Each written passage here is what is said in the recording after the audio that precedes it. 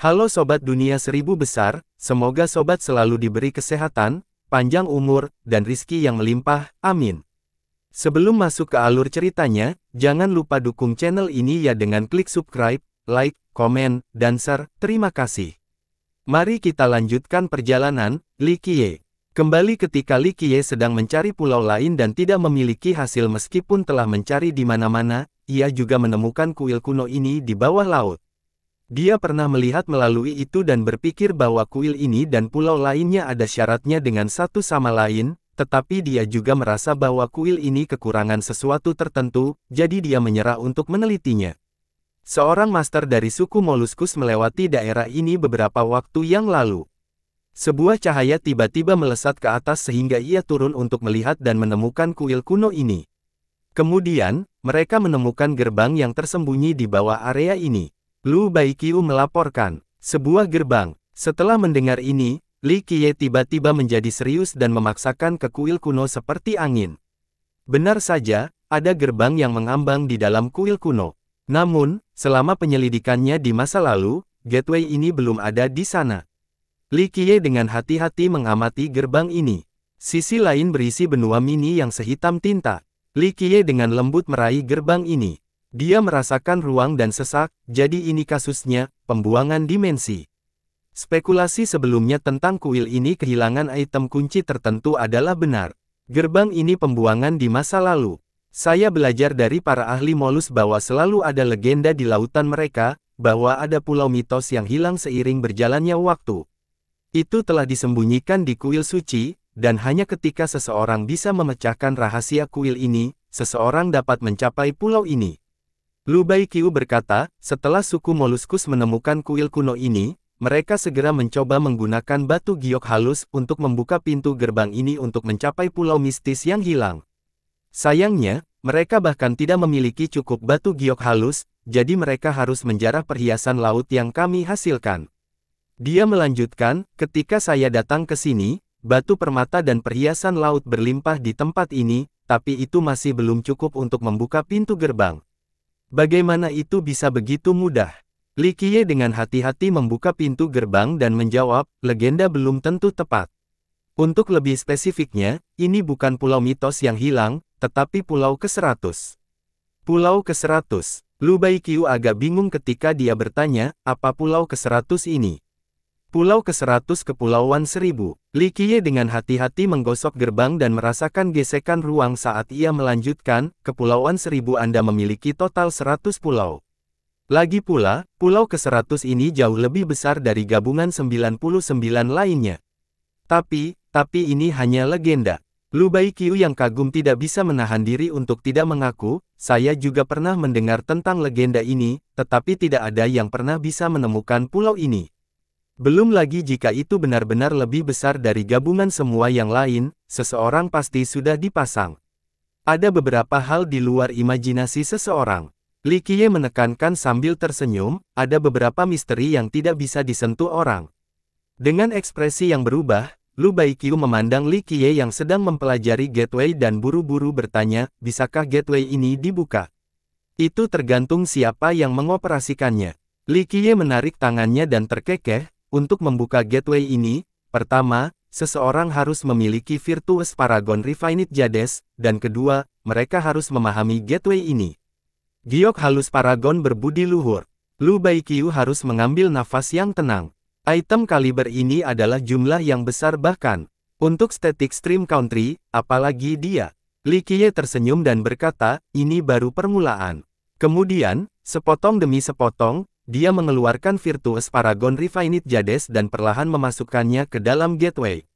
Batu giok halus Paragon berbudi luhur.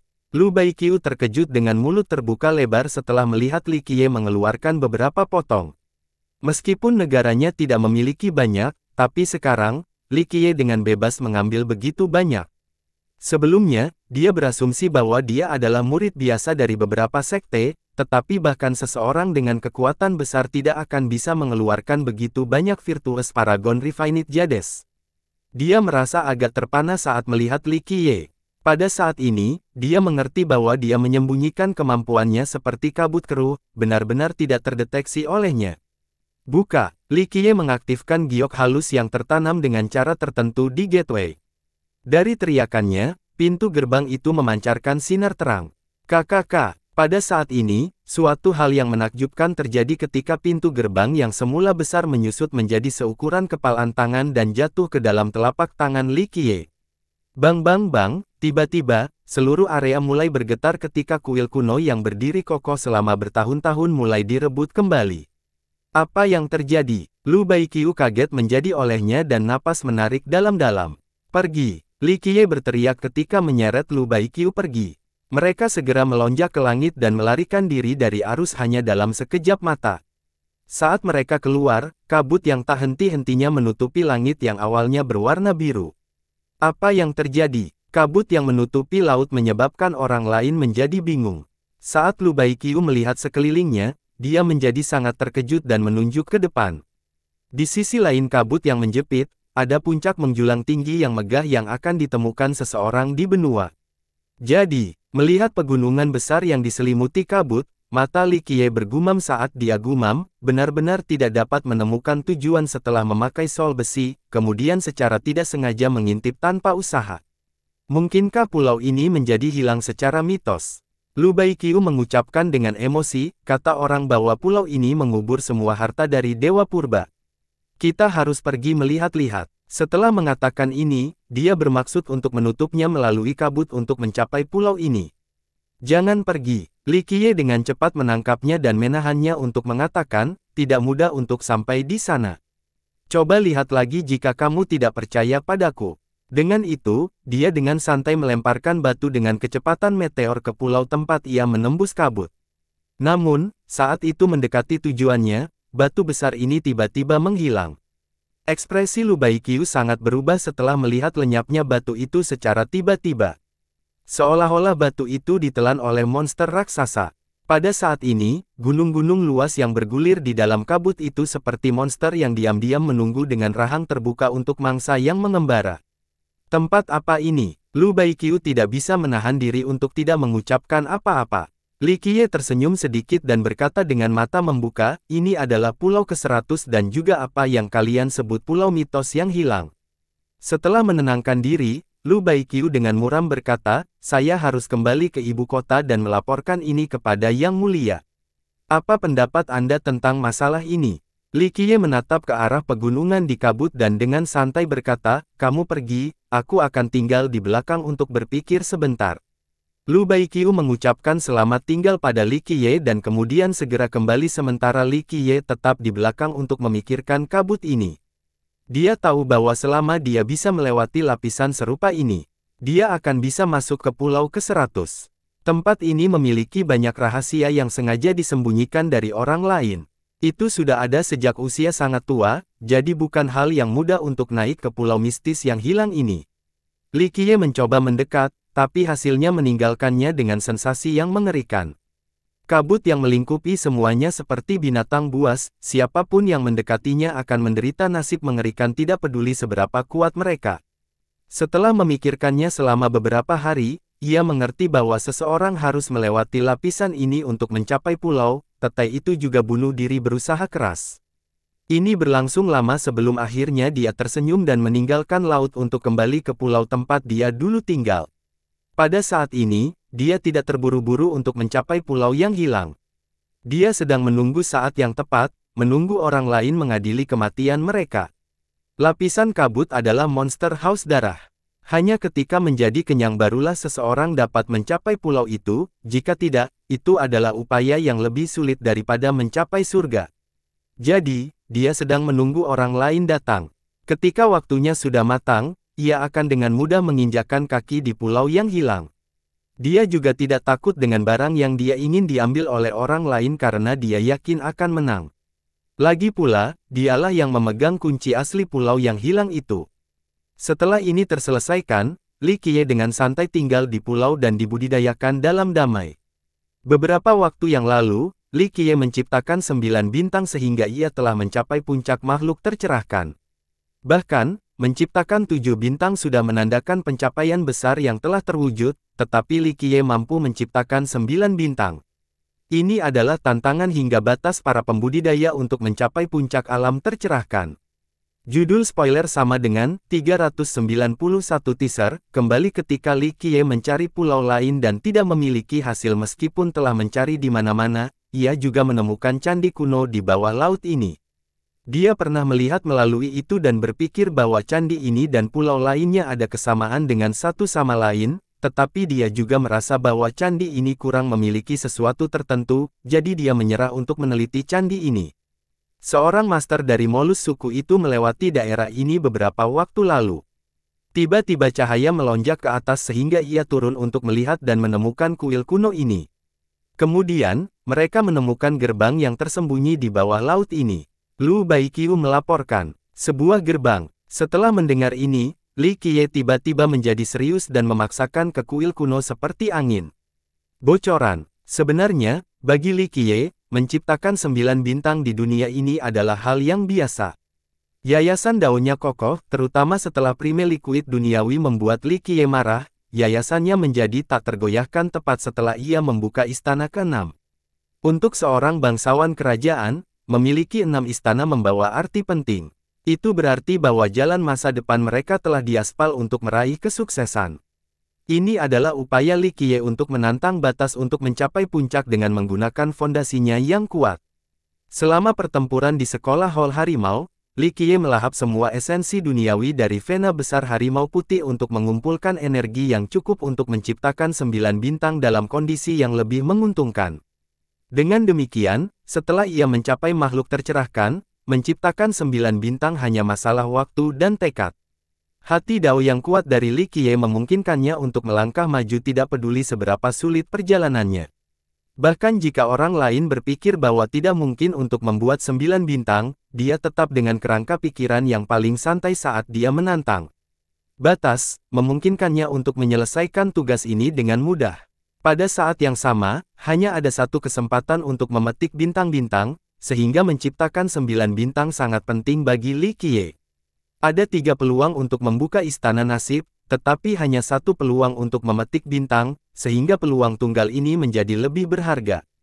Faktanya, selama puluhan juta tahun, menciptakan bintang delapan lebih sulit daripada membuka istana nasib ke-6.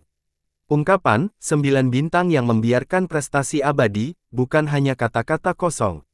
Sejak dahulu kala, mereka yang bergelar prestise abadi kurang dari sedikit. Sembilan bintang tidak hanya berarti bahwa orang tersebut telah memperoleh kunci untuk jalan era besar atau jalan surga, itu juga berarti mereka telah menciptakan langit mereka sendiri. Memiliki langit sendiri adalah sebuah prestasi yang luar biasa dan tak terduga karena alam Sein kuno adalah kesempatan terakhir bagi setiap penggarap untuk membuka istana lain. Jika seorang bangsawan kerajaan berhenti di istana ketiga, maka begitu mereka mencapai suci kuno, mereka memiliki kesempatan untuk membuka yang keempat, kelima, dan seterusnya. Empat istana untuk membentuk domain, delapan istana untuk membentuk kerajaan, dua belas istana untuk membentuk surga. Sejak awal waktu, setiap penggarap percaya bahwa memiliki 12 istana adalah batas budidaya. Sebenarnya, ini bukan pernyataan yang tidak masuk akal karena mereka yang memiliki 12 istana dapat dihitung dengan jari seseorang. Terutama sebagian besar dari mereka yang akhirnya menjadi kaisar abadi tidak membuka 12 istana. Kenyataannya adalah bahwa membuka 8 istana sudah cukup menakjubkan. Setelah seseorang memperoleh 8 istana, itu berarti orang tersebut akan memiliki kekuatan kerajaan. Ini berarti bahwa ada kemungkinan besar bagi mereka untuk menemukan negara dan akhirnya diberikan gelar dewa. 1. Kalimat terakhir ini berarti bahwa orang itu bisa menjadi paragon berbudi luhur, atau bahkan mencapai tingkat yang lebih tinggi. Mengenai sembilan istana, ini adalah batasan besar. Jenius yang tak terhitung jumlahnya dalam jutaan tahun sebelumnya berhenti di delapan istana, tidak dapat membuka kesembilan. Karena itu, ada komentar yang diturunkan dari generasi ke generasi, sembilan layak dihormati, sepuluh berusaha keras untuk ekstrim, kesempurnaan, sebelas menciptakan keajaiban abadi, dan dua belas memutuskan tahta kaisar abadi. Berdasarkan dua belas istana nasib pada dasarnya adalah masalah yang mustahil. Mungkin ada secerca harapan bagi para jenius iblis historis untuk membuka sebelas istana, tetapi orang jenius mana pun harus menyerah saat membuka kedua belas. Namun, bisa membuat sembilan bintang di alam tercerahkan menjadi akan memang memenuhi syarat sebagai jenius iblis sejarah, jadi masih ada harapan untuk membuka kedua belas. Sembilan bintang Eternal Prestige berarti bahwa seseorang akan memiliki langit sendiri, dan dua belas istana yang membentuk langit berarti memiliki sembilan bintang adalah persyaratan untuk mencapai dua belas istana nasib di masa depan. 2. Harus memiliki langit untuk memiliki surga. Saya awalnya ingin menggunakan istilah Empirean, firmamen daripada langit, tetapi Empirean terdengar lebih tinggi dari surga jadi saya memodifikasi ke langit. Tanpa ragu, Li Qiye memegang ambisi untuk mencapai 12 istana takdir, dengan demikian, setelah menciptakan sembilan bintang dan mencapai alam Sein kuno, ia terus memperkuat fondasinya satu langkah pada satu waktu. Dengan pencapaian masa lalu enam istana dan sembilan bintang di bidangnya masing-masing, ia akan mampu melonjak maju dan menciptakan keajaiban dengan menjadi penguasa surgawi seorang ahli sejati dalam waktu singkat. Namun, setelah menjadi orang suci kuno, dia melambat lagi karena ambisinya tidak terbatas hanya menjadi seorang penguasa. Tujuan sebenarnya adalah memiliki 12 istana nasib, atau bahkan 13 istana mitos. Jika dia bisa berhasil, maka di masa depan, dia benar-benar bisa mencapai puncak sebenarnya dari Grand Dao. Saat dia duduk di ruangan, energi darahnya beredar setelah disalurkan oleh life well-nya. Panjang umur darah yang baru disempurnakan kemudian mengalir kembali ke life well dengan cahaya yang bergelombang. Pada saat ini, enam istana di atas kepala Li Qiye melayang naik dan turun dan berubah menjadi domain. Esensi duniawi menyebabkan wilayah itu dipenuhi dengan kekacauan dan vitalitas primordial seolah-olah itu menandai jutaan eksistensi. Sembilan bintang di sekitar Li menciptakan langit yang menjulang di atas Li seolah-olah dia telah dihapus dari dunia luar dan dilindungi di dunia yang berbeda. Sebuah sinar melonjak ke langit seolah-olah itu ingin berkomunikasi dengan surga dan menanyakan tentang dao surgawi. Dari perspektif lain, sinar ini sepertinya sedang berbicara dengan para dewa dunia ini. Namun demikian, Sinar ini menyebabkan Li Qiye tampak sakri, seolah-olah dia adalah anak kesayangan dari surga yang tinggi atau putra bumi. Berkas cahaya surgawi ini terbentuk dari penanaman Li Qiye dari rahasia abadi cahaya langit siang hari Li Qiye. Saat itu terhubung ke langit dan bumi, itu memungkinkan Li Qiye menjadi satu dengan Grand Dao saat tubuhnya terbenam di dalam jalan. Rahasia undang-undang ini sangat kuat dan misterius, tetapi kekuatan mereka tidak hanya terbatas pada medan perang. Dibandingkan dengan teknik kuat lainnya, Heaven's Will Secret Laws tampaknya tidak layak atas kualifikasi mereka sementara Will's Heaven masih dalam tahap awal. Namun, begitu kehendak surga dari suatu generasi perlahan-lahan bermanifestasi menjadi tahap akbarnya, keuntungan dari hukum rahasia ini akhirnya akan muncul dengan sendirinya. Pada saat ini, Meridian Neigong Li Kie terus bergemuruh seolah-olah ada sesuatu yang ingin keluar dari bumi. Ini adalah Li Qiye yang mencoba membuka istana ketujuh. Tentu saja, membuka istana adalah proses yang panjang dan sulit. Ada tiga tahap di alam Sein kuno.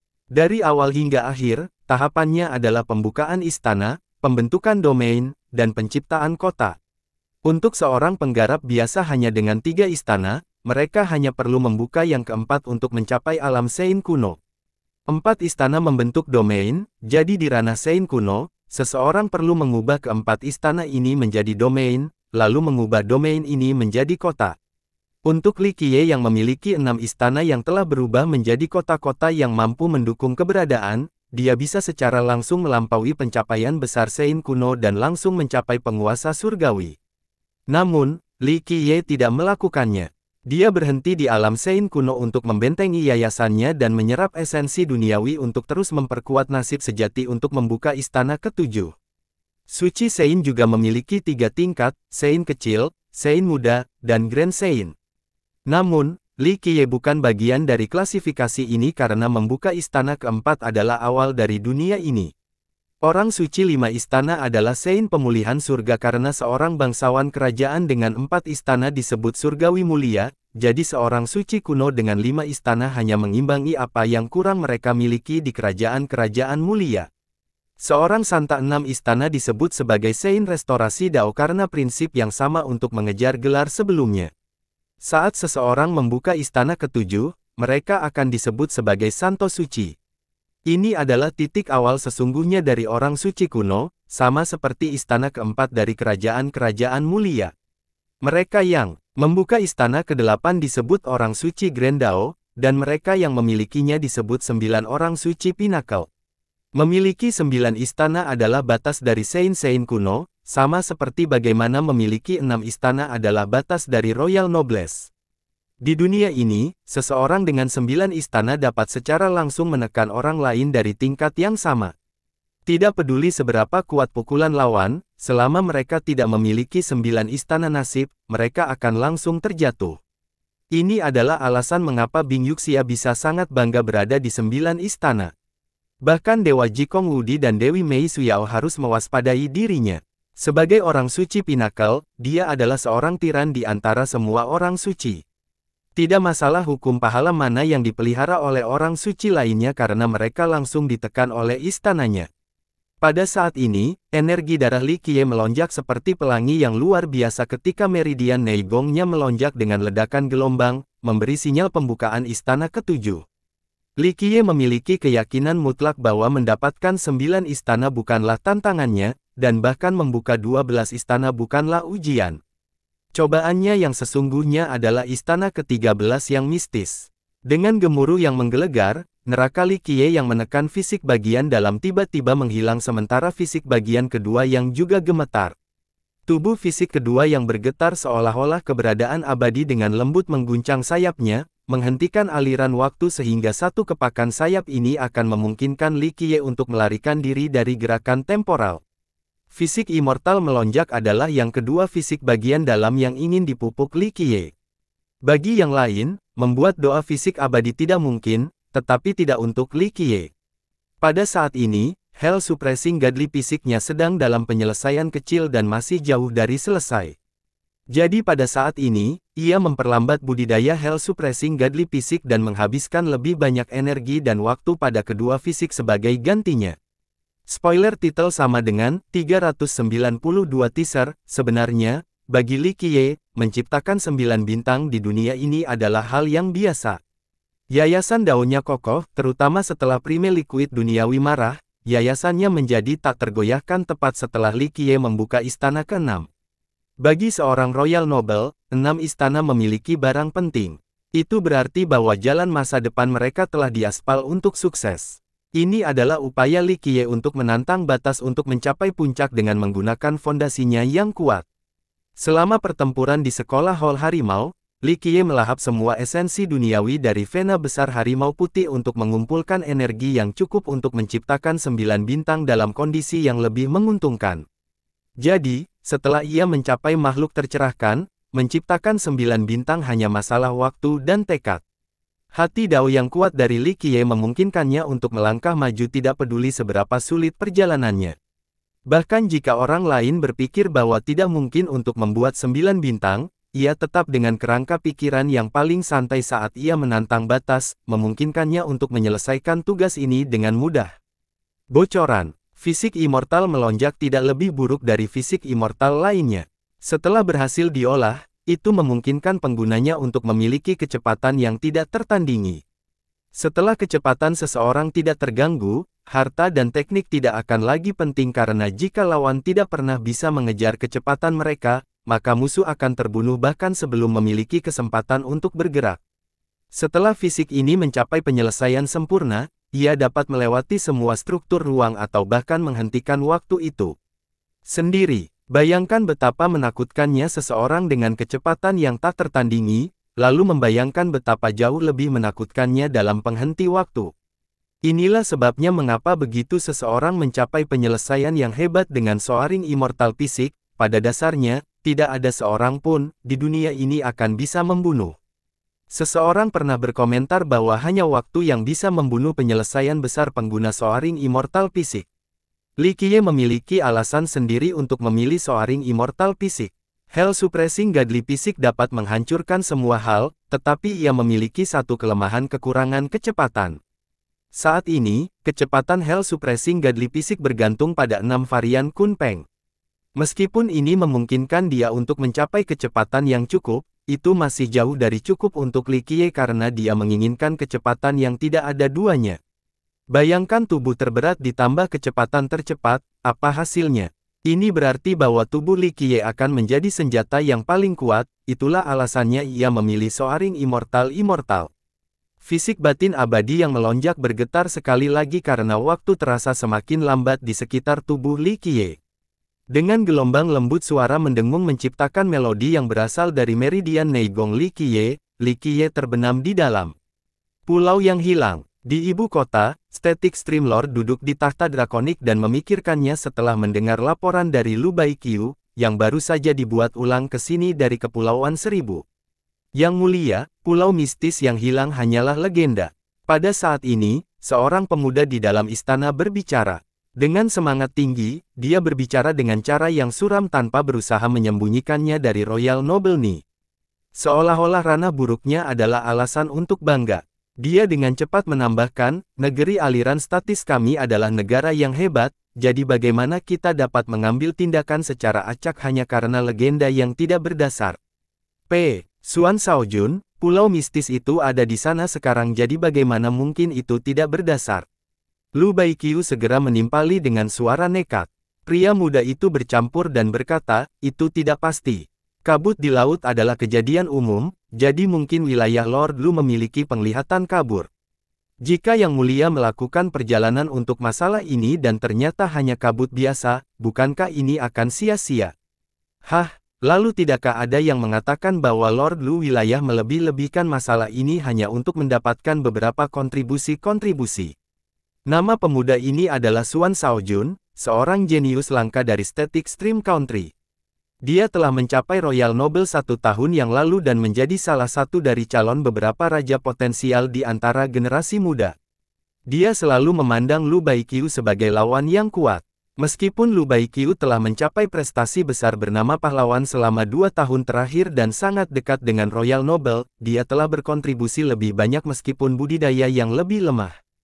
Selain itu, terkenal Lu Baiqiu di negara itu hebat, dan para tetua semua percaya bahwa dia bisa menangani tanggung jawab besar. Oleh karena itu, Suan Saojun selalu memandangnya sebagai saingan terkuatnya dan menentang setiap kesempatannya, dia bisa. Kamu, ekspresi Lu Baiqiu tenggelam setelah mendengar kata-katanya. Pada saat ini, Static Streamlord dengan lembut mencampurkan tangannya untuk mengganggu konflik mereka dan berkata, lebih baik percaya ini daripada mengabaikannya. Meskipun pulau yang hilang selalu menjadi legenda, Konon pulau ini ditinggalkan oleh dewa sejati di zaman kuno, menyembunyikan rahasia besar. Jika ada sedikit peluang, maka kita harus membiarkan pengintaian memeriksanya.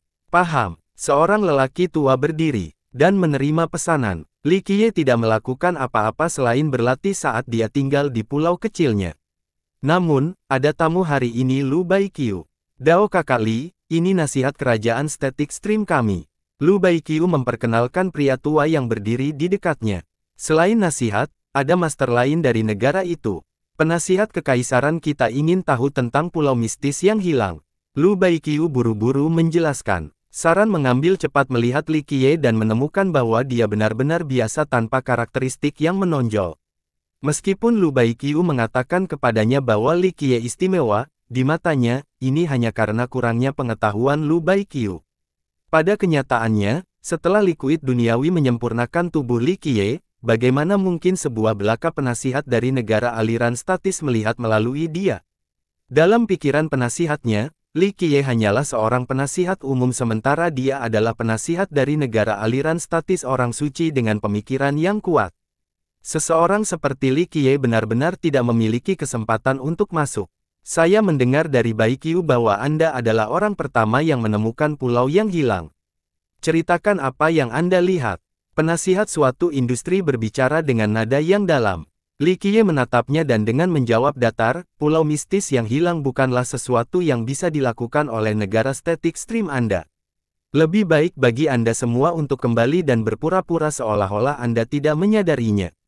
Beta lancang, sebelum ancaman itu bisa mengatakan apa-apa, Pria muda di sekitarnya melesat keluar dan dengan jijik berteriak pada Li Qiye, junior bodoh. Berani meremehkan static stream country saya. Apakah Anda lelah hidup? Pria muda yang melesat keluar adalah Suan Saojun. Dia datang bersama dengan penasihat untuk menemukan peluang untuk memberikan kontribusi yang besar, dan kata-kata Li Qiye kemarin menciptakan peluang yang segera dia lekatkan. Ekspresi Lu Baiqiu dengan cepat berubah. Li Qiye adalah temannya dan kata-kata Suan Shaojun terlalu keluar dari garis. Ledakan. Li Qiye tidak repot-repot melihat Suan Shaojun. Dia hanya menjentikkan Nick dan segera meniup Suan Shaojun. Dengan kegagalan, Suan Shaojun tiba-tiba jatuh ke laut. Benar-benar marah, dia ingin kembali, tetapi tangan raksasa tiba-tiba menabraknya. Itu menekannya sampai ke dasar lautan, tidak memungkinkannya untuk naik kembali. Jangan sakiti dia. Semua pakar lain yang datang bersama nasihat kekaisaran berteriak dan tiba-tiba menerkam Li Qiye. Li Qiye tetap tidak bergerak.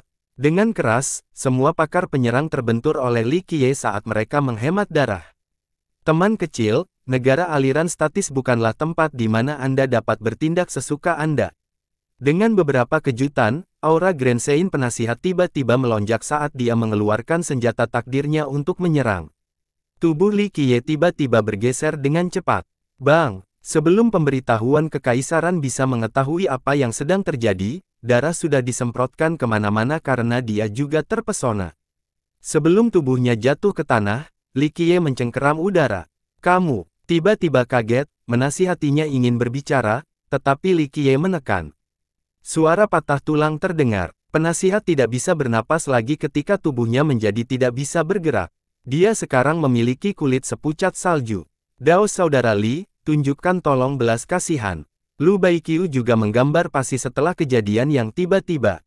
Ketika dia mendengar suara tulang patah, dia dengan cepat memohon.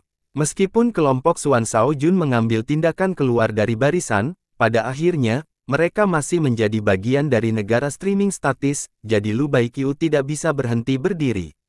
Li Qiye dengan santai melemparkan serangan ke tanah. Seperti ular mati yang tergeletak di lantai, penasihat kurus itu berjuang untuk akhirnya mengambil napas tunggal. Li Qiye tidak repot-repot menatapnya dan berkata, karena tuan wilayah Lu, aku akan mengampuni hidupmu hari ini. Lain kali, jika kau berani melawak di depanku, jangan salahkan aku karena tidak mempertimbangkan tuan wilayah lu. Penasihat kekaisaran adalah orang yang berpengalaman. Sebagai Grand Sein, dia bahkan tidak bisa menahan satu pukulan sebelum ditundukkan oleh musuh. Betapa menakutkannya orang ini, jika bukan karena permohonan Lu Baiqiu, sepuluh nyawa masih belum cukup baginya. Setelah memikirkan konsekuensinya, Nasihat merasakan hawa dingin yang menguap di telapak tangan. Dia mengambil napas dalam-dalam dan tidak berani berlama-lama lagi. Dia membawa murid-murid yang terluka dan pergi. Mereka juga berjuang untuk menggali Suan Jun, yang ditekan di dasar laut. Dao kakak Li, aku tidak menyangka ini terjadi. Sebelum pergi, Lu Baiqiu dengan canggung tersenyum dan meminta maaf. Tidak apa-apa, ini tidak ada di lingkunganmu. Li Qiye dengan lembut menggerakkan tangannya dan berkata, kembalilah dan katakan pada tuan kerajaanmu bahwa lebih baik tidak memprovokasi aku, jangan sampai aku menghancurkan negara streaming statismu. Di belakangnya, peringatan pertama adalah ancaman untuk menghancurkan sebuah negara, betapa tirani dan sombongnya hal ini. Tetapi setelah memikirkan bagaimana nasihat bisnis mereka dipadamkan setelah hanya satu gerakan oleh Li Qiye, dia tidak berpikir bahwa Li Qiye hanya menyampaikan, Rupanya Li Qiye bahkan lebih menakutkan dari yang dia bayangkan. Pada akhirnya, Lu Baiqiu membungkuk dalam-dalam kepada Li Qiye dan kemudian berbalik untuk pergi. Apa? Setelah kelompok pertengkaran kembali, Raja Tuhan tidak bisa membantu tetapi menjadi marah setelah mendengar laporan itu ketika dia secara emosional berkata, bahkan nasihat persahabatan bukan lawannya. Yang mulia, itu benar-benar membidik, tetapi saya harus mengakui bahwa saya tidak bisa menahan satu pukulan. Aku bahkan tidak bisa mengenali latar belakang. Penasihat pertempuran dengan respon yang cepat. Meskipun dikalahkan hanya dengan satu pukulan, nasihatnya tidak berani membalas dendam. Dia telah mengalami banyak gelombang dan badai, jadi dia tahu bahwa ada beberapa keberadaan di dunia ini yang dia tidak bisa memprovokasi. Wilayah Lord Lu, apa identitas Li Qiye ini? Peasihat perdagangan bertanya dengan keras.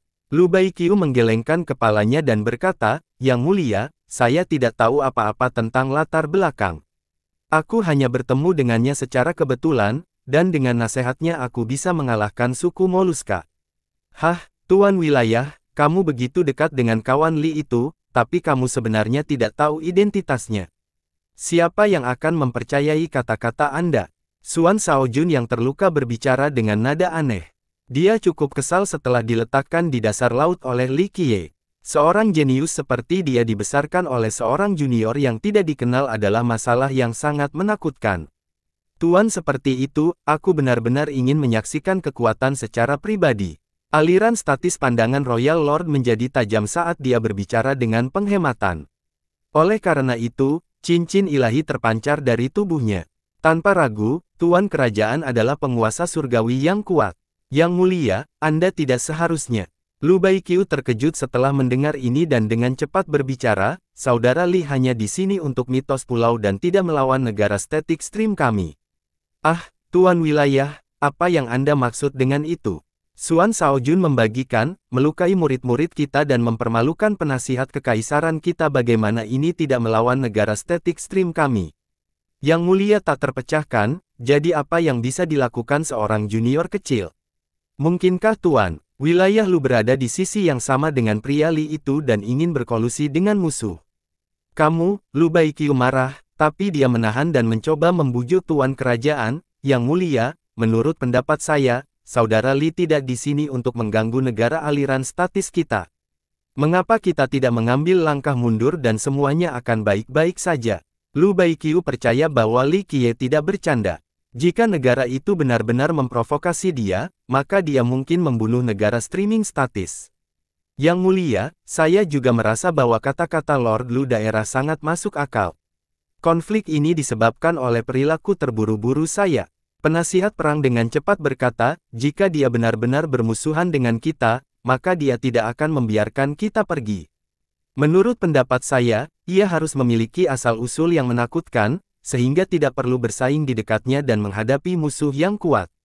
Tidak peduli apa, saya masih ingin pergi dan melihat sendiri. Tuan kerajaan dengan muram berbicara, seorang guru yang kuat seperti ini muncul di negara kita. Bagaimana mungkin orang merasa tenang jika kita tidak mengetahui identitasnya? Lu Baiqiu menjadi sangat cemas setelah mendengar kata-kata tuan kerajaan. Dia tidak ingin melihat negara itu berkonflik dengan Li Qiye karena dia percaya bahwa Li Qiye bukan orang yang suka bercanda. Bang Bang, tak terhitung orang yang terkejut sebagai pertempuran kereta terbang melintasi Kepulauan Seribu. Ketika para pembudidaya muda dari Kepulauan Seribu melihat beberapa ribu prajurit lapis baja di langit, mereka tidak bisa menahan diri untuk tidak waspada. Apa yang terjadi? Raja kerajaan sendiri sedang keluar.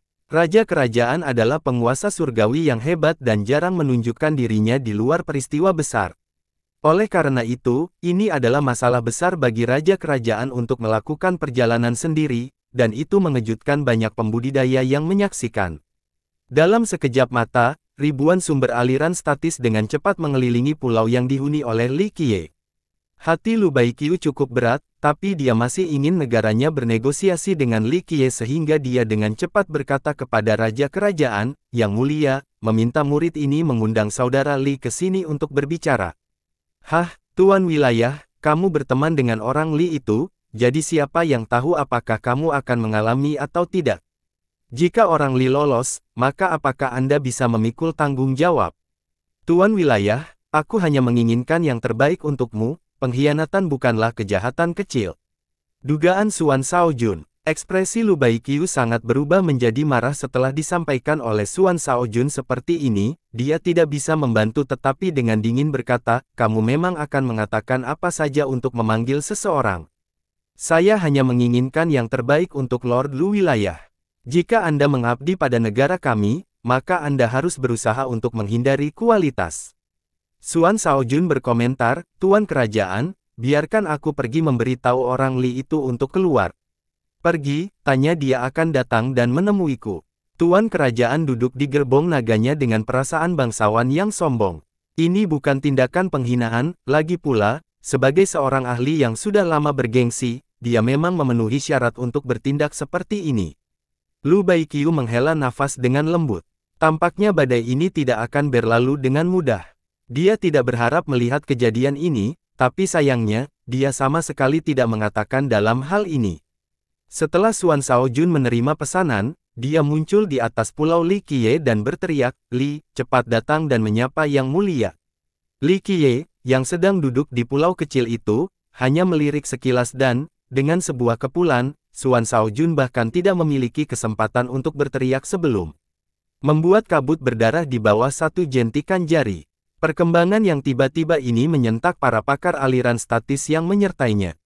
Suan Jun, jenius paling menjanjikan dari negara streaming statis mereka, dibunuh oleh seseorang dengan cara ini. Junior, kamu gila. Tuan kerajaan terkejut ketika dia berdiri dengan cincin dewanya mengembang dari tubuhnya, ada total tujuh cincin. Di tengah amarahnya, sebuah bayangan tiba-tiba muncul saat Li Qiye berdiri tepat di depannya. Dia bergerak dengan kecepatan ekstrim yang tidak bisa diikuti oleh orang lain. Lindungi raja kita, suasana di sekitarnya berteriak kaget. Dalam sekejap, Para ahli di sekitar tuan kerajaan semua berteriak pada saat yang sama dan banyak senjata yang ditujukan untuk kepala Li Qiye. Ada pagoda, pisau ilahi, dan pedang yang dibuat untuk mengorbankan darah seseorang. Mereka semua terus-menerus mengeluarkan ledakan. Serangan seperti itu bahkan tidak membuat kelopak mata Li Qiye sekalipun. Dia menggenggam tangannya ke bawah dan, dengan suara keras, tidak ada harta yang menyerang bisa menghentikan fisik Li Qiye yang tak terkalahkan dan segera hancur, para ahli yang masuk darah tumpah saat mereka diterbangkan. Awasi dirimu. Aliran statis Royal Lord menjadi marah ketika setiap cincin ilahi membuka gelombang Grandao, membawa kekuatan agung yang bergerak maju. Kamu hanya sovereign kecil tanpa sembilan cincin lengkap, namun kamu masih berani menyerangku.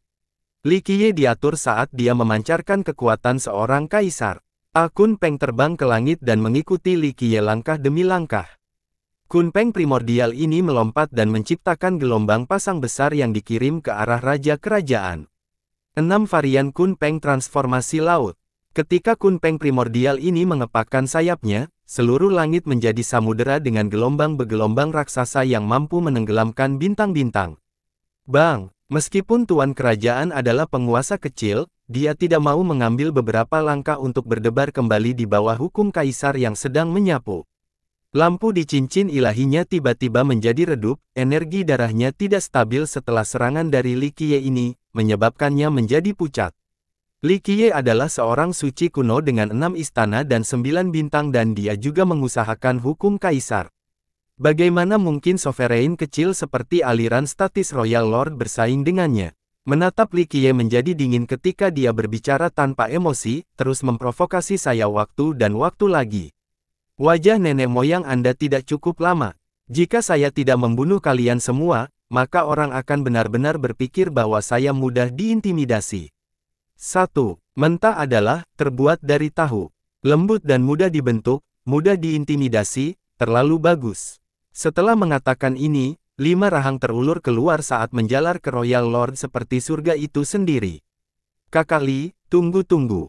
Lu Baiqiu yang ketakutan dengan cepat bergerak ke depan dan berdiri di depan Raja Kerajaan saat dia dengan desakan mendesak, Saudara Li, negara streaming statis kita tidak memiliki permusuhan terhadapmu, itu hanya kesalahpahaman. Ketika Lu Baiqiu berdiri dan memblokir bagian depan, Li Qiye berhenti dan menatap Lu Baiqiu. Kemudian, dia menarik jari-jarinya yang seperti surga sebelum berbicara dengan acuh tak acuh, daerah Lord Lu, ada kalanya wajahmu saja tidak cukup. Lu Baiqiu tidak bisa menahan senyum masam. Sebagai murid dari Static Stream Country, dia tidak bisa hanya berdiri di sana dan menyaksikan Li Qiye membantai orang-orangnya. Dia kemudian dengan cepat berbicara, Tuan kerajaan kami hanya ingin berbicara dengan saudara Li tentang pulau yang hilang. Ada kesalahpahaman, saya harap saudara Li dapat mengampuni kita. Pada saat ini, Tuan Kerajaan memiliki wajah terkejut. Dia, melihat Kun Peng di atas kepala Li Qiye dan menarik napas dalam-dalam. Aura kaisar yang menjulang tinggi di langit menyebabkan dia menyadari bahwa dia telah menendang dinding baja. Karena orang itu mengolah hukum kaisar, tanpa diragukan lagi, dia berasal dari garis keturunan kaisar abadi. Negara aliran statis mereka tidak mampu memprovokasi garis keturunan seperti itu. Sekte kaisar mana yang berasal dari rekan Daois? Tanya Raja Kerajaan sambil merapikannya di dalam. Dia tidak bisa melakukan apa pun selain membungkuk. Seorang Grand Sovereign jauh dari cukup untuk mencakup silsilah Immortal Emperor, apalagi Sovereign kecil seperti dia. Li Qiye melirik raja kerajaan dan berkata, karena menghormati daerah Lord Lu, aku akan melepaskan masalah ini saat ini. Kamu bisa pergi dan menemuiku di pulau bersama Tuan Lu wilayah.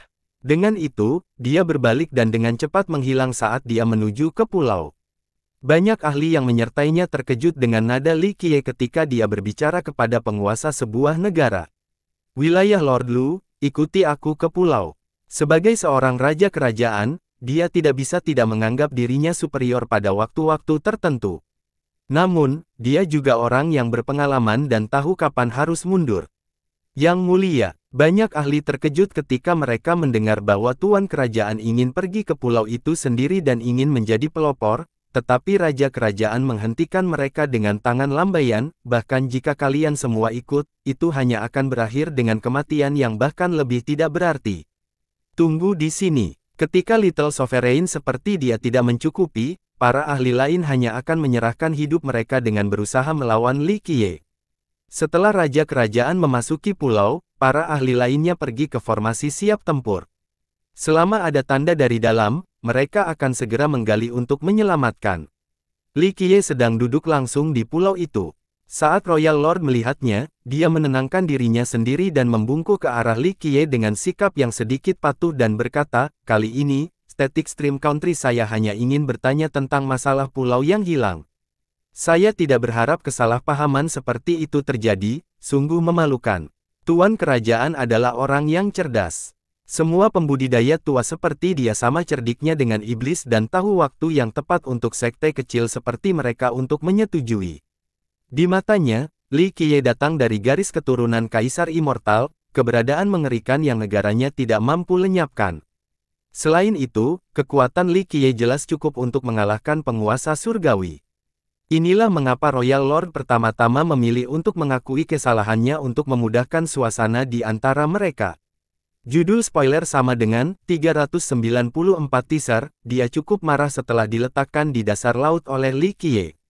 Seorang jenius seperti dia ditekan oleh seorang junior yang tidak dikenal adalah masalah yang sangat ekstrim. Ah, Tuan Wilayah Lu, apa maksudmu dengan itu? Suan Saojun menyampaikan, melukai murid-murid kita dan mempermalukan persahabatan kita bagaimana ini tidak membedakan negara streaming statis kita. Yang mulia tak terpecahkan, jadi apa yang bisa dilakukan seorang junior kecil? Mungkinkah Regent Lord Lu berada di sisi yang sama dengan pria Li itu dan ingin berkolusi dengan musuh? Bocoran, faktanya, Static Stream Royal Lord tidak bermaksud memulai permusuhan dengan Li Qiye pada awalnya, namun, sebagai raja kerajaan, dia tidak bisa membantu tetapi bertindak sedikit angkuh. Dia tidak mengira Li Qiye akan begitu kejam sehingga segera membunuh seseorang pada pertanda pertikaian pertama. Sang raja semakin waspada terhadap orang yang kejam sejak orang seperti ini mengambil tindakan, mereka tidak melakukan reservasi. Li Qiye memandang ke Tuan dan berkata, lupakan, kamu terlihat seperti orang yang berakal dengan rasa sopan santun, jadi aku tidak akan menyulitkanmu. Raja kerajaan menghela nafas lega setelah mendengar kata-kata ini. Dia agak menyesal mendengarkan desakan Suan Saojun, bukan saran Lu Baiqiu, jika tidak, masalah yang terjadi ini tidak akan terjadi. Kali ini, saya datang untuk menanyakan tentang pulau yang hilang.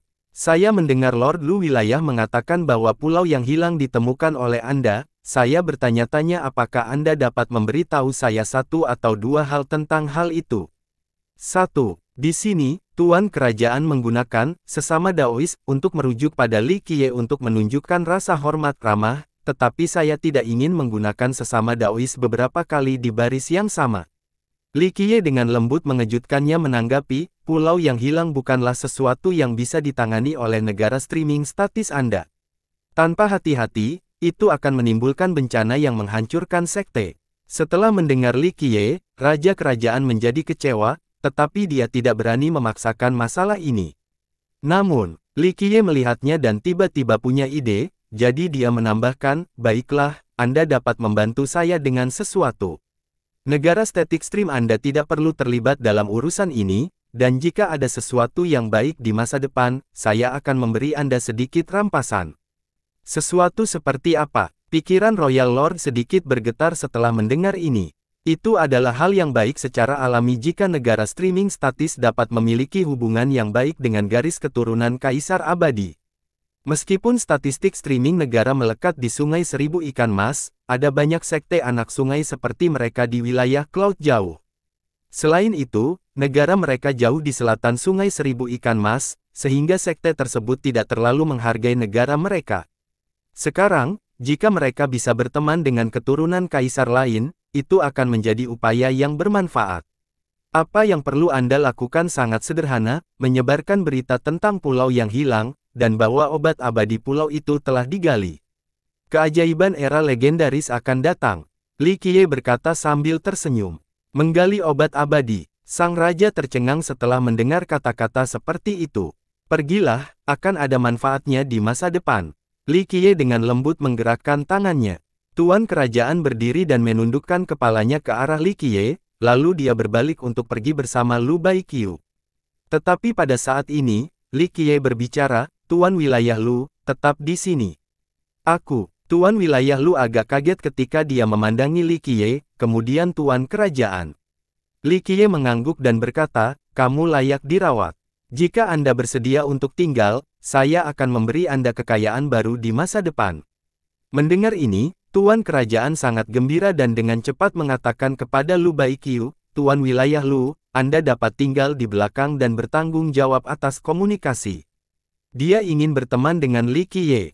Jika Lu Baiqiu dapat bergabung dengan garis keturunan Kaisar Immortal di masa depan, maka itu akan benar-benar luar biasa untuk negara streaming statis mereka. Lu Baiqiu melihat mereka berdua lagi, maka dia akhirnya mengangguk untuk mengatakan, karena Yang Mulia berkata begitu, aku akan tinggal di belakang. Segera setelah itu, Raja Kerajaan mengucapkan beberapa kata kepada Lu Baiqiu dan kemudian pergi dengan yang lain. Setelah dia kiri, Lu Baiqiu duduk di sisi Li Qiye. Dia menatapnya lagi dan tidak bisa menahan diri untuk bertanya, dari silsilah kaisar abadi mana saudara Li. Selam pertemuan pertama mereka, dia berpikir bahwa Li Qiye adalah seorang gelandangan atau seseorang yang berasal dari sekte kecil, tapi ini jelas bukan masalah sekarang.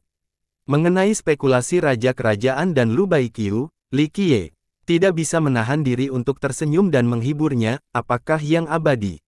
Saya berasal dari garis keturunan kaisar yang sangat penting. Lu Baiqiu masih penasaran dan mulai menebak, hanya ada dua garis keturunan kaisar abadi yang membawa manusia di awan jauh sungai ikan seribu dan sungai kerajaan abadi gunung sederhana. Jika saudara Li datang dari sungai, maka kita pasti sudah mendengar nama terkenalmu, jadi saudara Li pasti datang dari kerajaan abadi gunung sederhana. Tidak untuk keduanya. Li Qiye dengan lembut menenangkan kepalanya dan berkata, hal-hal ini tidak penting bagimu. Masalah yang paling relevan adalah melepaskan batasan Anda dan fokus pada pukulan, ini adalah hal yang harus Anda lakukan. Saudara Li ingin mengajarkan saya menyelamatkan. Lu Baiqiu hanya bisa bertanya sambil bercanda, saya ingin tahu ciptaan apa yang dapat Anda berikan kepada saya. Meskipun Lu Baiqiu biasanya tabah, dia terkadang tidak bisa dipenuhi dengan kelincahan sebagai seorang gadis. Itu akan tergantung pada apa yang Anda pilih. Li Qiye memandang dia dan berkata sambil tersenyum, jika kamu memilih untuk tetap di sisiku, maka aku akan memberikan ciptaan yang sangat bagus. Jika Anda memilih untuk tetap di Static Stream Country, maka saya akan mengarahkan Anda ke jalur tertentu. Li Qiye memang memiliki pemikiran untuk melatih Lu Baiqiu. Dibandingkan dengan gadis-gadis di sisinya, bakat Lu Baiqiu memang terlalu luar biasa. Dia tidak bisa dibandingkan dengan Li Xuangyan dan bahkan lebih lemah dari Qi Xiaodi. Namun, Li Qiye menyukai sikapnya, dia adalah seseorang dengan pikiran terbuka, seseorang yang mampu, masuk akal, dan seorang yang terampil sejati. Mungkinkah saudara Li akan memperkenalkan saya ke sekte Anda? Lu Baiqiu tidak bisa membantu tetapi menjawab sambil tersenyum, bahkan jika saya memasuki sekte Anda, saya khawatir prestasi masa depan saya tidak akan lebih baik daripada di Static Stream Country. Datang dari latar belakang yang biasa, Lu Baiqiu mengetahui dirinya dengan sangat baik. Bakatnya tidak bisa dibandingkan dengan para jenius lainnya. Jika dia memasuki sekte yang berbeda, maka dia harus mulai dari awal.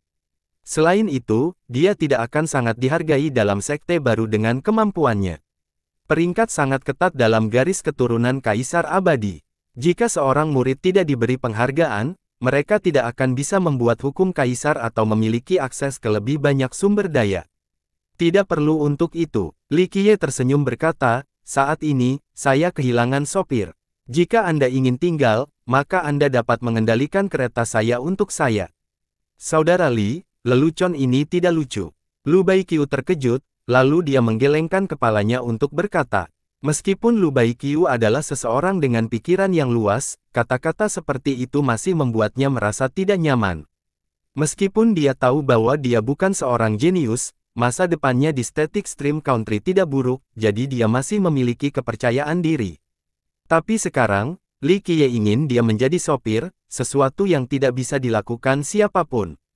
Jika Lu Baiqiu tidak begitu toleran, maka dia akan dilanda kemarahan dan berpikir bahwa Li Qiye ingin mempermalukannya. Li Qiye menatap dan berbicara dengan tenang, jangan berpikir bahwa mengendalikan kereta saya bagi saya tidaklah baik. Tidak terlalu banyak orang di sembilan dunia yang memenuhi syarat untuk mengendalikan kereta saya. Jika itu adalah seseorang yang saya tidak suka, maka bahkan jika bakat mereka lebih baik atau mereka berasal dari latar belakang yang menakjubkan, mereka masih tidak akan memenuhi syarat untuk menjadi sopir saya. Li Qiye tidak menyombongkan dirinya. Sejak zaman kuno, saat keretanya muncul, semua dewa mundur dan kaisar abadi harus menyambutnya. Dan drivernya adalah paragon berbudi. Luhur yang mampu membentuk negara mereka sendiri. Lu Baiqiu menjadi kagum. Kata-kata acuh tak acuh dari Li Qiye membawa kepercayaan yang tak terlukiskan seolah-olah itu adalah bagian dari tatanan alam.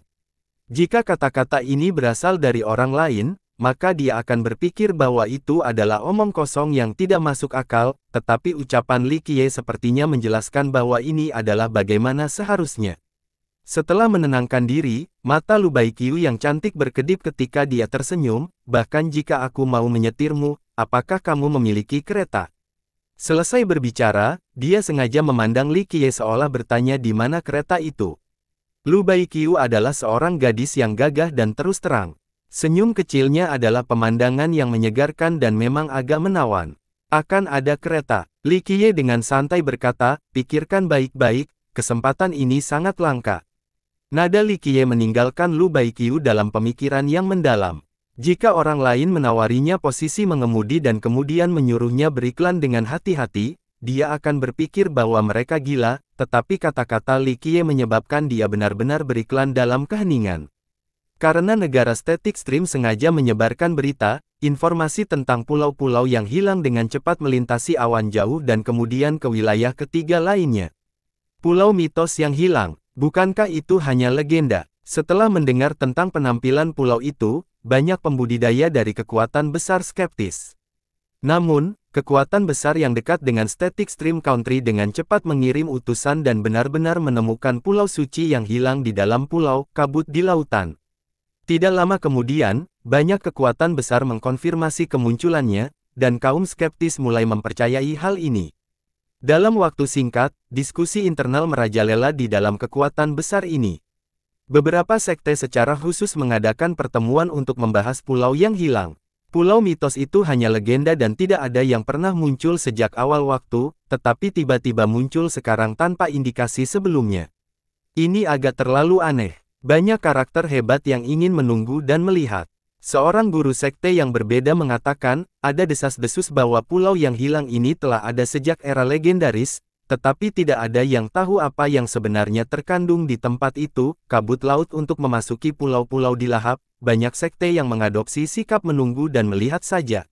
Namun, pesan berikutnya membuat banyak orang tidak bisa duduk diam di kursi mereka. Sebuah pesan dengan asal yang tidak diketahui tiba-tiba menyatakan bahwa obat-obatan abadi telah muncul di pulau yang hilang. Judul spoiler sama dengan 395 teaser. Obat-obatan abadi muncul. Setelah mendengar berita ini, bahkan karakter hebat tidak bisa lagi duduk diam ketika mereka segera menanyakan masalah ini. Pada awalnya, banyak yang tetap skeptis. Tetapi kemudian, seseorang bersumpah melihat cahaya abadi menembus ke pulau yang hilang, dan bahwa mereka mendengar teriakan naga dan burung phoenix. Keajaiban zaman legendaris akan segera muncul. Setelah itu, banyak laporan lebih kecil datang dari seluruh wilayah Cloud Jauh, dan mereka menjadi semakin keterlaluan. Beberapa orang mengatakan bahwa makhluk abadi sejati akan muncul sementara yang lain menyatakan bahwa naga sejati dan burung phoenix abadi adalah turun. Ada beberapa pernyataan mengenai penampilan ramuan abadi juga. Pesan-pesan ini ada di mana-mana, termasuk orang-orang yang bersumpah pada kehidupan mereka bahwa mereka melihat semua jenis fenomena aneh di laut termasuk naga dan abadi. Ketika gosip-gosip ini beredar, banyak kekuatan besar mengirim mereka untuk mengawasi pulau yang hilang. Sama seperti rumor, dalam waktu singkat, banyak perubahan terjadi ke pulau yang hilang. Diselimuti kabut, kadang-kadang, gambar aneh akan muncul, atau cahaya keemasan akan muncul seolah-olah orang abadi mengunjungi dunia fana. Nyanyian-nyanyian yang menakjubkan berasal dari pulau itu, tetapi teriakan itu bahkan lebih umum, seolah-olah pulau itu adalah penjara iblis dari zaman kuno. Mungkinkah ini adalah tanda obat abadi? Banyak ahli bertanya-tanya setelah melihat semua gambar aneh ini. Tiba-tiba, banyak kekuatan besar yang awalnya ingin menunggu menjadi tidak sabar dan berencana memasuki pulau yang hilang, tetapi para ahli yang berusaha melakukannya tertelan oleh kabut dan berubah menjadi darah. Adegan ini sangat menakutkan, menyebabkan rambut orang-orang berdiri di puncak. Meskipun kabut tetap seperti binatang buas yang ingin melahap para penggarap yang melintas, hati manusia tetap serakah untuk mendapatkan obat abadi. Bahkan Lu Baiqiu, yang tinggal bersama Li Qiye, sudah mendengar semua hal ini. Ini semua pesan yang sengaja disebarkan oleh Li Qiye, tetapi sekarang mereka telah melakukan perjalanan jauh dan orang-orang benar-benar memastikan bahwa obat-obatan abadi ada di pulau yang hilang. Karena keduanya adalah yang pertama menemukan pulau yang hilang dan mengetahui bahwa Li Qiye sengaja menyebarkan pesan-pesan ini, Lu Baiqiu tidak percaya akan hal itu. Tapi sekarang, rumor ini telah meningkat ke titik menjadi kebenaran. Hal ini menyebabkan Lu Baiqiu terkejut ketika dia bertanya kepada Li Qiye, apa yang ada di pulau yang hilang. Apakah obat dan mukjizat abadi benar-benar turun? Apa yang ada di pulau yang kau katakan? Li Qiye tidak bisa menahan senyum pada pertanyaannya, mungkin ada obat-obatan abadi, dan mungkin juga ada keajaiban. Benarkah, Lu Baiqiu harus mengambil nafas yang menenangkan. Dia berasumsi bahwa Li Qiye hanya ingin menyebarkan desas-desus palsu ketika dia meminta tuan mereka untuk menyebarkannya. Di pulau yang hilang ini, obat-obatan abadi dan mukjizat tidak bernilai apa-apa dibandingkan dengan keberadaan sebenarnya di sana. Li Qiye berkata dengan senyum santai. Lu Baiqiu memperburuk setelah mendengar kata-kata seperti itu. Apa saja obat abadi itu? Ini adalah harta yang tak ternilai, bahkan bagi paragon berbudi luhur. Bagi para pembudidaya, meskipun pasta fisik dapat memperkuat daging, obat-obatan yang berumur panjang dapat memperpanjang umur, dan pil takdir dapat memperkuat fondasi seseorang, semua pil ini memiliki batas. Misalnya, sekali masa hidup, pada saat ini, mereka harus menggunakan harta ilahi yang berbeda untuk memperpanjang hidup mereka, dan di antara hal-hal ini, obat-obatan abadi adalah pilihan terbaik. Selain itu, obat-obatan ini adalah obat mujarab serbaguna yang mampu menumbuhkan tulang dan daging baru, memperpanjang usia seribu tahun, dan memperkuat fondasi seseorang.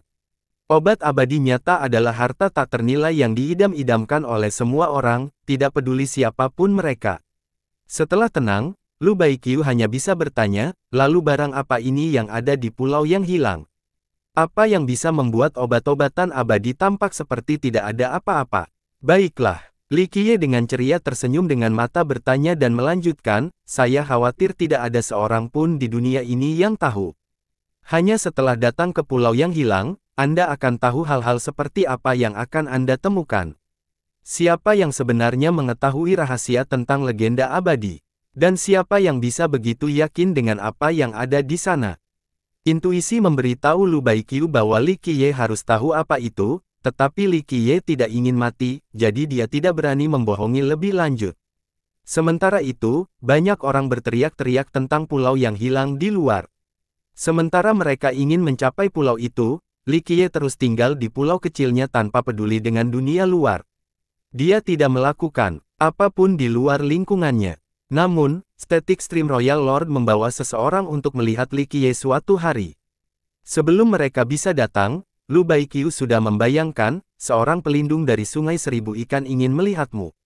Pelindung Sungai Seribu Sungai, Li Qiye membuka matanya setelah mendengar ini, tapi dia tidak peduli. Tidak lama kemudian, tuan kerajaan membawa seorang lelaki tua ke pulau kecil itu. Orang tua itu juga seorang penguasa kecil. Li bangsawan muda, orang ini adalah pelindung Xiao dari sungai seribu ikan mas. Tuan kerajaan dengan cepat membuat perkenalan.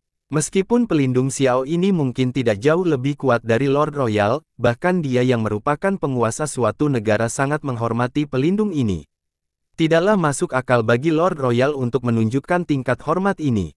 Meskipun menjadi penguasa sebuah negara, tidak ada alasan bagus baginya untuk mengudara di depan pelindung Sungai Seribu Ikan Mas.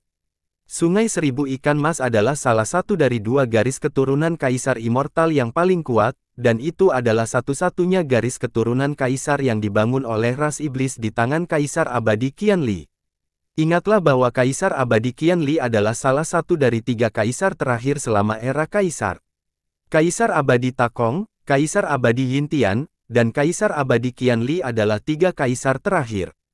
Dapat dikatakan bahwa di dunia suci-suci, Kaisar Abadi Qianli adalah yang paling dekat dengan masa kini, jadi sungai seribu ikan mas yang didirikannya memiliki banyak sisa kekuatan kaisar yang menakutkan. Pengaruh sekte itu masih besar karena memiliki kaisar terbaru, jadi meskipun ada kerajaan kuno lainnya lebih kuat di dunia suci-suci, bahkan kerajaan kaisar ganda cukup waspada terhadap sungai seribu ikan mas. Negara aliran statis tidak seberapa dibandingkan dengan monster besar seperti Sekte Sungai, belum lagi bahwa negara itu selalu menjadi negara anak sungai. Dengan demikian, Tuan Kerajaan yang menghormati pelindung Xiao dapat dimengerti. Kamu adalah Li Qiye. Meskipun pelindung Xiao bukanlah orang yang mencolok, dia masih sombong di hadapan Li Qiye. Dia hanya meliriknya dan berkata perlahan. Itu Li Qiye. Li Qiye tersenyum ringan. Dia akan tetap acuh tak acuh bahkan sebelum karakter yang lebih tak terduga, apalagi pelindung belaka. Dia memandang pelindungnya dan berkata, saya satu-satunya Li Qiye yang saya kenal di antara orang-orang yang saya temui. Pelindung Xiao perlahan berbicara, hari ini, saya datang ke sini atas perintah dari para tetua di sekte untuk memutuskan pertunangan dengan Anda. Pada saat ini, pelindung Xiao dengan sengaja bertindak dengan cara yang sangat ramah, setidaknya, di matanya. 1.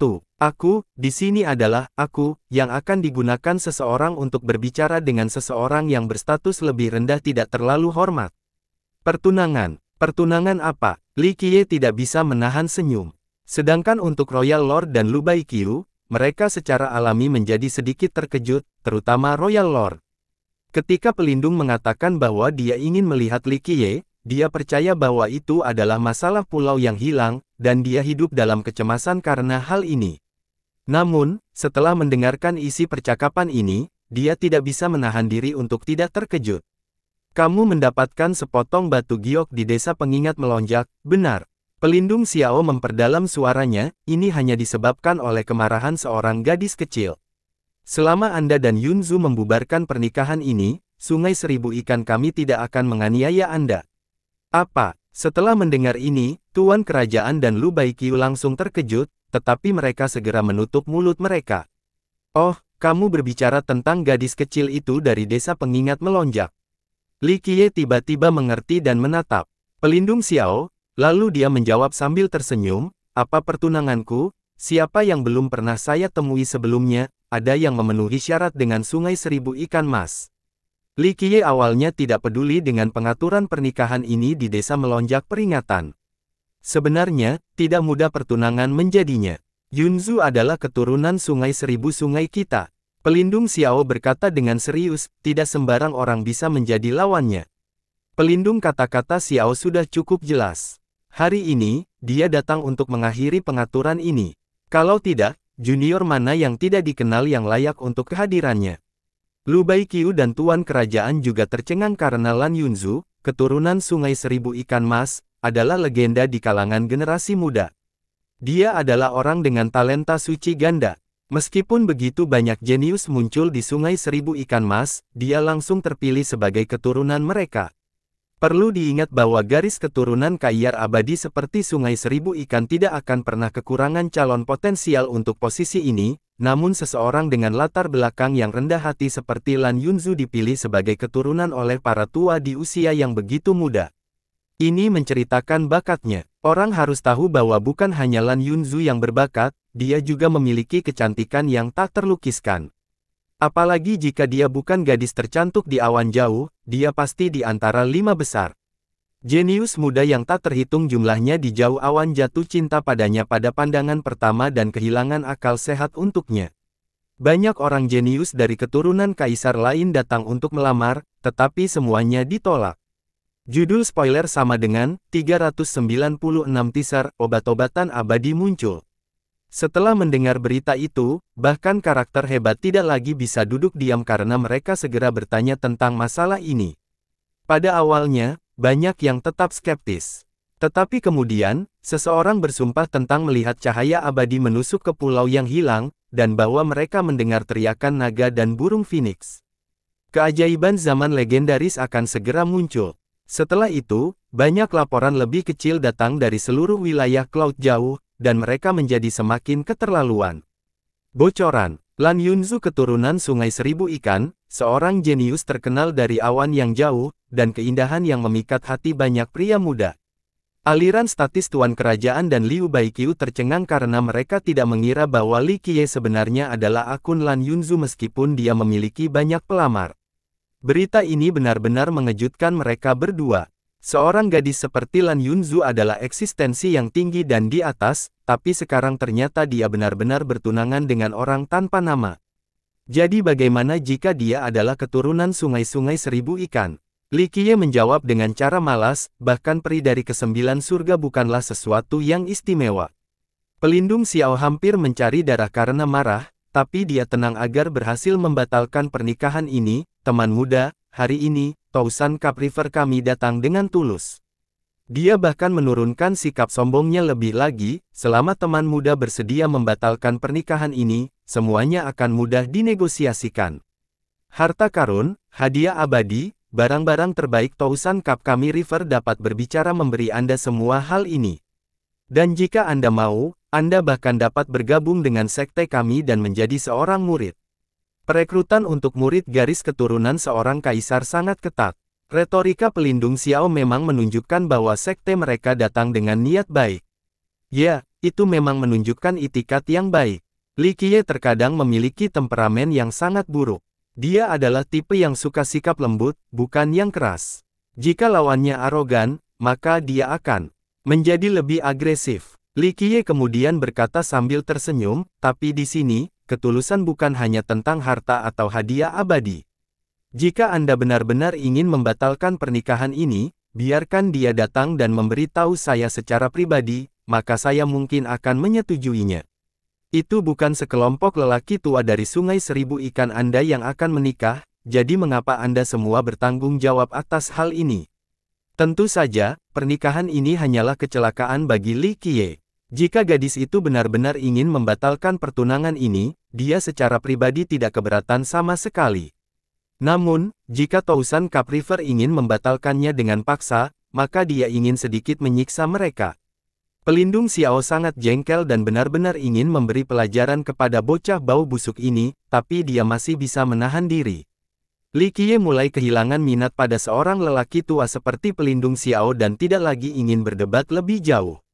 Pelindung Xiao menjadi lebih marah dan lebih marah, tetapi dia masih berhasil mempertahankan nada ramah saat dia berkata dengan serius, kamu bisa berbohong. Ini adalah peluang besar bagi Anda. Biarkan Static Stream Royal Lord menyampaikan tanggapan Anda setelah Anda memposting.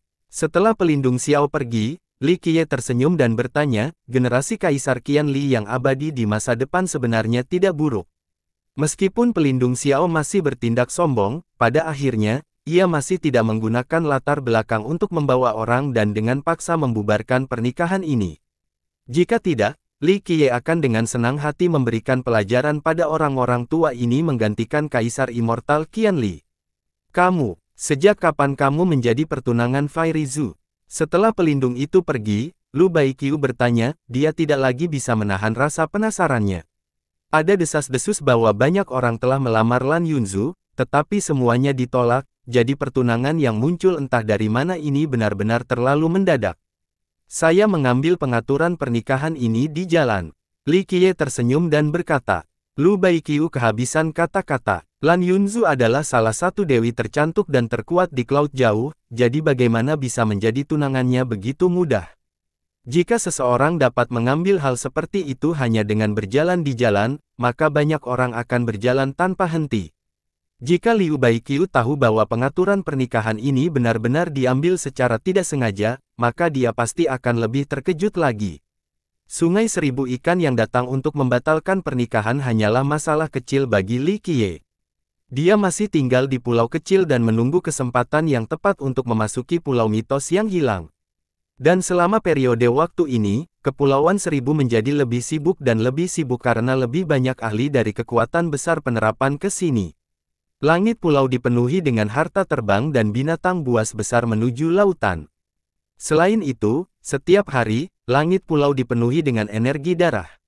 Aura penguasa langit dan Raja Langit menjulang tinggi di langit karena banyak karakter hebat dari kekuatan besar telah datang secara pribadi.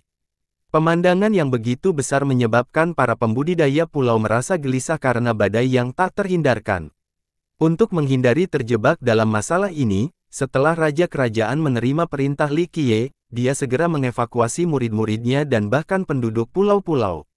Terutama ketika satu kekuatan besar setelah yang lain muncul, Static Stream Royal Lord menjadi lebih sadar akan badai yang akhirnya terjadi, jadi dia mempercepat proses evakuasi. Tentu saja, evakuasi ini hanya sementara. Mereka akan kembali setelah penyelesaian selesai. Selama periode ini, ledakan konstan dapat ditemukan setiap hari di laut. Kadang-kadang, bumi bahkan akan bergetar ketika gelombang besar mencapai langit itu sendiri. Di lokasi pulau yang hilang, pancaran yang mempesona adalah pemandangan umum. Beberapa berasal dari harta karun, dan beberapa lampu abadi yang berasal dari dalam pulau yang hilang.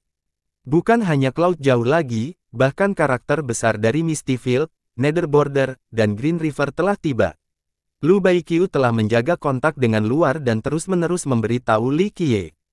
Dia tidak bisa menahan diri dari rasa khawatir, dalam beberapa hari terakhir, beberapa penguasa permata telah tiba dan hampir membalik laut. Bolehkah kita meninggalkan tempat ini dulu? Tidak, Li Qiye menggetarkan kepalanya lalu berkata dengan wajah ceria, jika Jewel Sovereign telah datang, maka kita bisa pergi melihatnya. Li Qiye dan Lu Baiqiu pergi ke laut sekali lagi. Dibandingkan dengan kunjungan terakhir, pulau ini jauh lebih kacau kali ini. Banyak harta terbang berhenti di atas lautan dengan kapal raksasa melayang di langit bersama dengan paviliun dan gunung ilahi. Ada banyak pembudidaya, termasuk karakter hebat, yang ingin mencapai pulau mistis yang hilang, tetapi beberapa dari mereka juga ada di sini hanya untuk menonton kesenangan binatang buas sementara yang lain berada di harta terbang.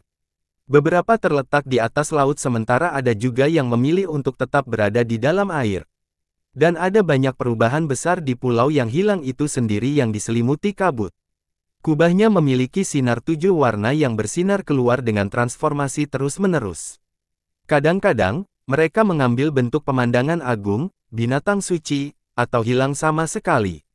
Tangisan luar biasa terpancar dari pulau itu bersama dengan lolongan mengerikan seolah-olah ada makhluk ganas yang dipenjara di pulau itu. Bahkan kabut di sekitar pulau telah berubah dan berubah menjadi kabut merah tua. Kurang dari warna berdarah ini berasal dari sisa-sisa para pembudidaya yang ingin melintasi kabut. Mereka bermaksud memasuki pulau itu dengan paksa, tetapi dilahap dan berubah menjadi kabut berdarah hanya dalam sedetik, menjadi bagian dari lapisan yang tak pernah hilang ini. Li Qiye tidak bisa membantu tetapi mengedipkan matanya saat ia menatap perubahan besar yang terjadi di pulau yang hilang dan tidak berbicara untuk waktu yang lama. Saat ini, tepat di luar kabut, kekuatan-kekuatan besar telah mulai membagi lautan ke dalam kam mereka sendiri dan membangun wilayah kecil di permukaan untuk menampung pasukan mereka. Yang lebih mengesankan adalah bahwa di atas kabut, ada karakter hebat dengan cincin dewa di sekitar mereka di semua arah mata angin. Aura yang dipancarkan oleh tubuh mereka menyebabkan semua iblis binatang besar di laut berlari, mereka pastilah tokoh yang tak terduga. Beberapa adalah penguasa surgawi, beberapa adalah raja surgawi. Mereka semua adalah penguasa perkasa dari negara mereka sendiri atau sekte yang jarang menunjukkan diri mereka sendiri, tetapi mereka semua muncul di sini pada saat ini. Sekte Nightwalker, negara naga melingkar, gerbang menjulang langit. Melihat kam-kam dari semua kekuatan ini, Lu Baiqiu bisa mengenali lencana mereka dan membatasi, begitu banyak sekte tingkat atas ada di sini. Beberapa pakaian lama yang tidak terwujud juga ada di sini sekarang bersama beberapa leluhur. Pada saat ini, seseorang tiba-tiba muncul tepat di sebelah Li Qiye dan melanjutkan, kemarin, leluhur lembah Ironstone juga datang. Dia ingin memaksa masuk ke pulau yang hilang, tapi sayangnya, dia langsung berubah menjadi kabut berdarah. Judul spoiler sama dengan 397 teaser, Lan Yunzu keturunan Sungai Seribu Ikan, seorang jenius terkenal dari Sungai Jauh, Cloud, dan keindahan yang memikat hati banyak pria muda. Jadi bagaimana jika dia adalah keturunan sungai seribu ikan mas? Li Qiye menjawab dengan malas, bahkan peri. Dari kesembilan surga tidak ada yang istimewa dibandingkan dengan yang lain, bocoran. Orang yang muncul entah dari mana adalah seorang pemuda berusia sekitar 20. Dia mengenakan jubah daois sambil memegang kipas dengan tulisan, kalkulate, di atasnya. Dia didekorasi dengan mahkota daois dan menampilkan sikap yang berpengalaman. Selain itu, wajahnya tersenyum misterius seolah-olah dia menyembunyikan banyak rahasia. Pria ini tiba-tiba datang dengan ekspresi yang sangat akrab menyebabkan Lu Baiqiu menatap Li Qiye. Dia berpikir bahwa pemuda ini adalah temannya. Saya adalah surga Dao menghitung, kata-kata baja saya dapat mengakhiri kehidupan dan memprediksi masa depan. Daois muda ini tersenyum menyambut Li Qiye dan Lu Baiqiu, kemudian dia melanjutkan dengan pengalaman berpengalaman, saya di sini karena takdir dan bertemu dengan rekan-rekan Tao yang sedang bekerja. Apakah kalian berdua ingin kekayaanmu dibaca? Meskipun penghitung surga Tao mengambil peran veteran dan penampilan yang pantas, usianya bertahan. Terutama ketika dia bertanya apakah Li Qiye dan Lu Baiqiu ingin kekayaan mereka dibaca, dia memberikan kesan seorang penipu. Kami tidak memerlukan ramalan. Lu Baiqiu merangkum dan berkata, seorang berpikiran yang bertujuan untuk menentang surga dan mengubah nasib mereka sendiri, jadi mengapa perlunya ramalan? Kata-kata Lu Baiqiu sudah cukup sopan. Bagi yang lain, setelah melihat penipu seperti ini, mereka akan mengejarnya jauh lebih awal. Nona agak salah. Saya bisa melihat melalui masa lalu, sekarang, dan masa depan. Jika Anda dapat melihat nasib masa depan Anda, maka semua bahaya di jalur kerusakan masa depan Anda akan menjadi tidak berbahaya. Daois Heaven menghitung dengan cepat meminta bisnisnya, saya dapat menghitung surga di atas dan para dewa di bawah ini, melihat melalui masa lalu sepanjang zaman. Untuk menghidupkan bisnisnya, Tao ini mengajukan setumpukan bunga surgawi seolah-olah dia benar-benar dapat mendukung kata-katanya. 1. Banjir bunga-bunga surgawi adalah idiom yang berarti hiasan berlebihan. Lu Baiqiu tidak mengatakan apa-apa dan mengabaikan Daois. Hanya Li Qiye yang tersenyum dan berkata, apakah Anda benar-benar luar biasa? Seseorang yang mampu menghitung bahkan langit dan para dewa. Jika kamu tidak percaya padaku, maka izinkan aku membaca keberuntunganmu. Jika Anda pikir itu tidak akurat, maka saya tidak akan mengambil pembayaran apa pun. Menghitung surga-surga dengan cepat menjawab. Li Qiye menampilkan penampilan yang sangat menarik yang membingungkan Lu Baiqiu. Sekilas cukup untuk mengatakan bahwa perhitungan surgais surga ini adalah seorang penipu, jadi mengapa Li Qiye tiba-tiba mempercayainya? Oke, lalu lanjutkan dan baca kekayaan saya. Li Qiye membuka telapak tangannya dengan senyum lebar sambil melihat Daois Heaven Kalkating. Baiklah, Daois itu gembira melihat pelanggan dan segera melihat telapak tangan Li Qiye. Pada awalnya, Daois itu cukup santai, tetapi seiring berjalannya waktu, ia menjadi lebih serius ketika ia menatap garis telapak tangan Li Qiye dengan kilau terfokus di matanya seolah-olah ia ingin melihat semuanya. Oh ibu, tepat ketika dia menggunakan teknik magisnya, dia tiba-tiba menjadi seolah-olah dia bengkak oleh ular beracun dan harus mengambil beberapa langkah kembali. Setelah mundur, Tao mencetaknya menatap Li Qiye seolah-olah sedang melihat hantu. Lu Baiqiu tidak mengharapkan reaksinya, itu hanya bacaan telapak tangan, haruskah dia melebih-lebihkan begitu banyak? Dewa, leluhur, tolong lindungi aku. Tao yang ketakutan itu mendapatkan kembali kewarasannya dan dengan cepat berbalik untuk melarikan diri. Namun, dia hanya berhasil beberapa langkah sebelum Li Qiye mencengkeram kerahnya dan menariknya kembali. Bos besar, aku hanya sedikit. Orang yang berusaha bertahan di dunia ini. Daois itu dengan cepat memohon, bos besar adalah karakter yang hebat dan baik hati, jadi kamu tidak perlu repot-repot dengan pria kecil sepertiku. Pionis itu tiba-tiba memohon belas kasihan menangkap Lu Baikiu lengah. Dia baik hati sehingga dia memohon dengan nada rendah, dia tidak bermaksud jahat, biarkan saja dia pergi. Di matanya, Daois Heaven Kalkating hanyalah penipu biasa yang membodohi umum orang-orang. Meskipun penipu ini menyebalkan, dia terlalu malas untuk menyulitkan karakter seperti itu. Li Qiye menggelengkan kepalanya dan berbicara dengan ceria kepada Daois Heaven menghitung, untuk apa kau terburu-buru. Aku tidak akan memakanmu. Lihatlah penampilan panik Anda, apakah saya terlihat seperti binatang buas bagi Anda atau sesuatu? Namun, Li Qiye bahkan lebih menakutkan daripada binatang buas di mata penghitungan surga-surga. Dengan ekspresi cetak, dia mengkompilasi seolah-olah dia sedang memukul drum dan dengan cepat menyampaikan belas kasihan, aku yang tidak penting ini menunjukkan sedikit keterampilanku di hadapan seorang ahli, saya hanya berusaha untuk bertahan dan tidak mengetahui besarnya langit dan bumi. Tolong berbaik hati dan maafkan yang tertidur ini. Baiklah, berhenti bicara. Li Qiye membiarkan Daois itu pergi dan tertawa, aku benar-benar memiliki sesuatu untuk kamu hitung. Permintaan Li Qiye membuat Daois terperanjat ketika dia dengan cepat mengelak, Bos, saya bukan siapa-siapa tanpa keterampilan apa pun. Saya hanya makan dan tidur, jadi bagaimana saya bisa menghitung hal-hal besar bos? Begitukah? Li Qiye membuka matanya untuk menatap Tao sebelum berkata, jika Anda tidak bisa menghitungnya, maka aku akan menghancurkan tulangmu. Apa yang Anda pikirkan tentang itu? Setelah mendengar ini, Sang Taoisme menjadi sedih seperti bola kempis ketika ia menamparkan nepuk kepalanya dan berkata tanpa daya, saya akan mencoba yang terbaik jika bos menginginkannya. Lu Baiqiu menemukan semuanya sangat aneh dengan Li Qiye ingin penipu. Li Qiye menggambar sesuatu di selembar kertas dan menyerahkannya ke surga-surga menghitung sebagai dia dengan riang berkata, ilahi ini dan katakan padaku jawabannya. Dan bahkan tidak berpikir untuk berlari atau aku akan menghancurkan sarangmu. Sang Tao memandang benda itu di atas kertas dan wajahnya tampak pahit. Penampilannya bahkan lebih pahit daripada makan teratai kuning saat ia dengan sedih memerintahkan kepalanya. Ya bos, karena Anda begitu percaya pada si kecil ini, maka saya akan menghitung dan memberitahu Anda begitu saya memiliki beberapa hasil. Sang Tao lalu mengeluarkan kertas itu dan dengan cepat menjawab Li Qiye. Pergi, Li Qiye dengan lembut pergantian tangan. Kata ini seperti suara keselamatan bagi penganut Taoisme ketika ia dengan cepat melarikan diri, tidak berani berlama-lama selama setengah detik lebih lama. Seolah-olah Li Qiye adalah wabah. Setelah Daois itu pergi, Lu Baiqiu tidak bisa tidak melihat aneh pada Li Qiye. Dia bukan penipu. Li Qiye dengan santai menjawab keingintahuannya, dia adalah ramalan alami dari suku hantu hati. Suku hantu hati. Lu Baiqiu terkejut kaget, seorang ramalan dongeng dari legenda. Dikatakan bahwa Heart Ghost Tribe adalah suku yang sangat misterius.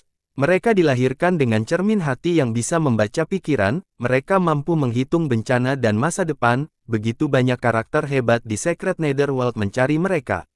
Mengapa dia tidak memiliki cermin hati? Setelah mendapatkan kembali akalnya, Lu Baiqiu bertanya. Li Qiye sambil tersenyum, tidak semua hantu jantung memiliki cermin hati sejak mereka dilahirkan. Dan memiliki satu tidak selalu berarti mereka dapat memprediksi masa depan. Dia juga ingin bertanya mengapa Daois lari ketakutan seolah-olah dia melihat. Hantu setelah membaca telapak tangan Li. Oh, pada saat ini, auman naga menjelajah ke seluruh lautan luas. Seekor naga emas melonjak di atas pulau mistis dan menghilang di lokasi terdalamnya. Apakah itu naga emas yang mistis? Binatang mitos yang sesungguhnya selalu menjadi bagian dari legenda tidak ada yang benar-benar melihatnya. Hari ini, mereka semua melihat naga emas beterbangan di langit, dan ini terlalu mencengangkan. Mungkinkah benar-benar ada obat abadi? Dikatakan bahwa obat-obatan abadi secara alami dijaga oleh binatang buas mistis. Pada saat ini, bahkan beberapa karakter hebat yang menunggu di luar kabut menjadi sangat tidak sabar, lautan seperti yang diinginkan banyak orang sehingga mereka dapat mencapai pulau itu untuk menemukan obat-obatan abadi yang mistis ini. Buka, dia meraung dengan kekuatan yang mampu menghancurkan bintang. Ledakan, setelah serangannya, jalur yang jelas menembus kabut, menunjukkan kekosongan yang terlihat. Karakter hebat ini memang luar biasa dan benar-benar setingkat leluhur. Dia dapat dengan mudah memetik bintang-bintang dan bulan di langit. Pada saat ini, harta yang tak dipertandingkan muncul di sekitar tubuh leluhur ini. Dia kemudian berubah menjadi naga banjir dan menggunakan kecepatan yang tak termasuk untuk mengangkut ke ruang hampa yang ia ciptakan untuk mencapai pulau yang hilang. Banyak yang menahan napas sambil menonton leluhur ini. Sebelumnya, seorang leluhur telah meninggal dalam kabut, jadi semua orang ingin melihat seseorang yang mampu menciptakan keajaiban sekarang. Engah. Namun, saat leluhur itu melangkah ke ruang hampa di dalam kabut, tidak peduli berapa banyak harta yang ada melindungi tubuhnya atau seberapa kuat kekuatannya sendiri, dia langsung menghancurkan ketika tubuhnya berubah menjadi kabut berdarah tanpa diberi kesempatan bahkan untuk berteriak. Adegan yang mengerikan itu mengirimkan teror melalui semua penonton dan menghentikan semua yang ingin mencapai pulau di tempat. Lu Baiqiu kehilangan akal karena takut ketika keringat dingin membasahi telapak tangan. Dia juga ingin menjelajah ke pulau selama penemuan awal, tetapi berevolusi, Li Qiye menghentikannya. Kalau tidak, hasilnya akan sama dengan leluhur ini sekarang. Bahkan leluhur yang kuat seperti ini langsung berubah menjadi kabut berdarah, jadi nasibnya tidak perlu dikatakan. Kabut berdarah yang dulunya nenek moyang perlahan mengintegrasikan dirinya ke dalam kabut, menyebabkan seluruh entitas menjadi lebih merah. Kabut merah saat ini di laut menjadi lebih jahat, menyebabkan rambut orang-orang berdiri. Kita akan kembali sekarang, waktunya belum matang. Li Qiye dengan lembut menenangkan dan membalikkan. Dia harus menunggu lebih lama lagi sebelum melintasi kabut ini. Judul spoiler sama dengan 398 teaser. Setelah Li Qiye kembali ke pulau kecilnya, Static Stream Royal Lord sudah menunggu di sana. Li Nobel muda, Sungai Seribu Ikan Mas meminta saya untuk menanyakan apakah Anda sudah meminta atau tidak. Royal Lord berada dalam sedikit dilema setelah disandwich oleh Li Qiye dan Tousan Cup River. Tak perlu dikatakan, beban kerja keras ini jatuh di pundaknya. Tampaknya Sungai Seribu Ikan Mas sangat khawatir. Li Qiye berkata sambil tersenyum. Static Stream Country merasa cukup tak berdaya di dalamnya. Bagaimana mungkin sungai seribu ikan mas tidak terburu-buru? Lan Yunzu adalah keturunan mereka yang telah dipersiapkan dengan upaya yang tak terhitung banyaknya. Akan aneh jika sekte itu tidak menjadi gila karena prospek dia menikahi orang luar. Sang raja kemudian dengan cepat mengeluarkan nampan dengan banyak pil yang diletakkan di atasnya yang memancarkan aroma obat yang menyenangkan, membuat orang lain santai. Li bangsawan muda, ini adalah tanda kecil dari sungai seribu ikan mas. Sekte berharap Anda dapat mengambil keputusan dengan cepat. Tuan kerajaan meletakkan nampan kecil di depan Li Qiye. Lima pil nasi transformasi. Li Qiye tersenyum dan berkata, Oh, sungai seribu ikan mas ingin menenangkanku dulu. Tapi ini hanya lima pil fasi transformasi, mereka masih kurang. Sungai seribu ikan mas tidak mengatakan bahwa pil ini akan cukup, mereka hanya berharap kedua belah pihak memiliki yang baik mulai. Ini hanya tanda kecil. Tuan kerajaan dengan cepat mencoba melicinkan semuanya. Li Qiye tidak peduli untuk melihat lebih jauh dan dengan santai menyerahkan pil ke Lu Baiqiu di samping dan dengan ringan berkata, kamu bisa menyimpannya untuk penggunaanmu sendiri. Lu Baiqiu tidak bisa tidak tersesat dalam kebingungannya. Lima pil nasi transformasi bukanlah sesuatu yang bisa dinikmati oleh penguasa wilayah dan seseorang yang baru saja masuk ke ranah kerajaan mulia seperti dirinya. Mereka sangat berharga karena mereka adalah pil untuk para orang suci kuno, jelas, mereka juga memiliki manfaat besar bagi Royal Nobles. Bahkan para tetua di dalam Static Stream Country yang menginginkan pil 5 fasi transformasi tidak akan merasa mudah untuk mendapatkannya. Namun, Pil ini mirip dengan sampah di benak Li Qiye. Ketika dia menyerahkannya, dia bahkan tidak repot-repot memelihara mereka. Gaya seperti itu bukanlah sesuatu yang bisa dibandingkan dengan negara kecil seperti Static Stream. Static Stream Royal Lord tersenyum masam dan berpikir bahwa orang-orang dari keturunan kaisar memang tidak sama dengan para murid dari kekuatan besar yang luar biasa. Kemewahan seperti itu bahkan tidak peduli dengan lima nasib fasi transformasi. Kapan Yang Nobel berencana pergi ke Sungai Seribu Ikan Mas? Lord Royal cepat bertanya. Tidak mudah baginya untuk berada di tengah-tengah Li Qiye dan Sekte. Jika sungai benar-benar ingin membatalkan pernikahan ini, maka biarkan Lan Yunzu secara pribadi memberitahu saya. Banyak orang tua tidak perlu khawatir tentang ini. Li Qiye tidak memedulikan apa yang dikatakannya sambil tersenyum. Sang raja ingin menangis, tetapi tidak ada air mata yang keluar. Dia tidak punya cara melaporkan jawaban seperti itu. Li Qiye benar-benar agak terlalu sombong. Para tetua dari sungai semuanya adalah tokoh-tokoh hebat yang dapat menggemparkan domain dengan satu injakan kaki mereka. Sangat sedikit orang dari generasi muda yang berani untuk tidak menghormati mereka, tetapi Li Qiye sama sekali tidak peduli dengan para tetua.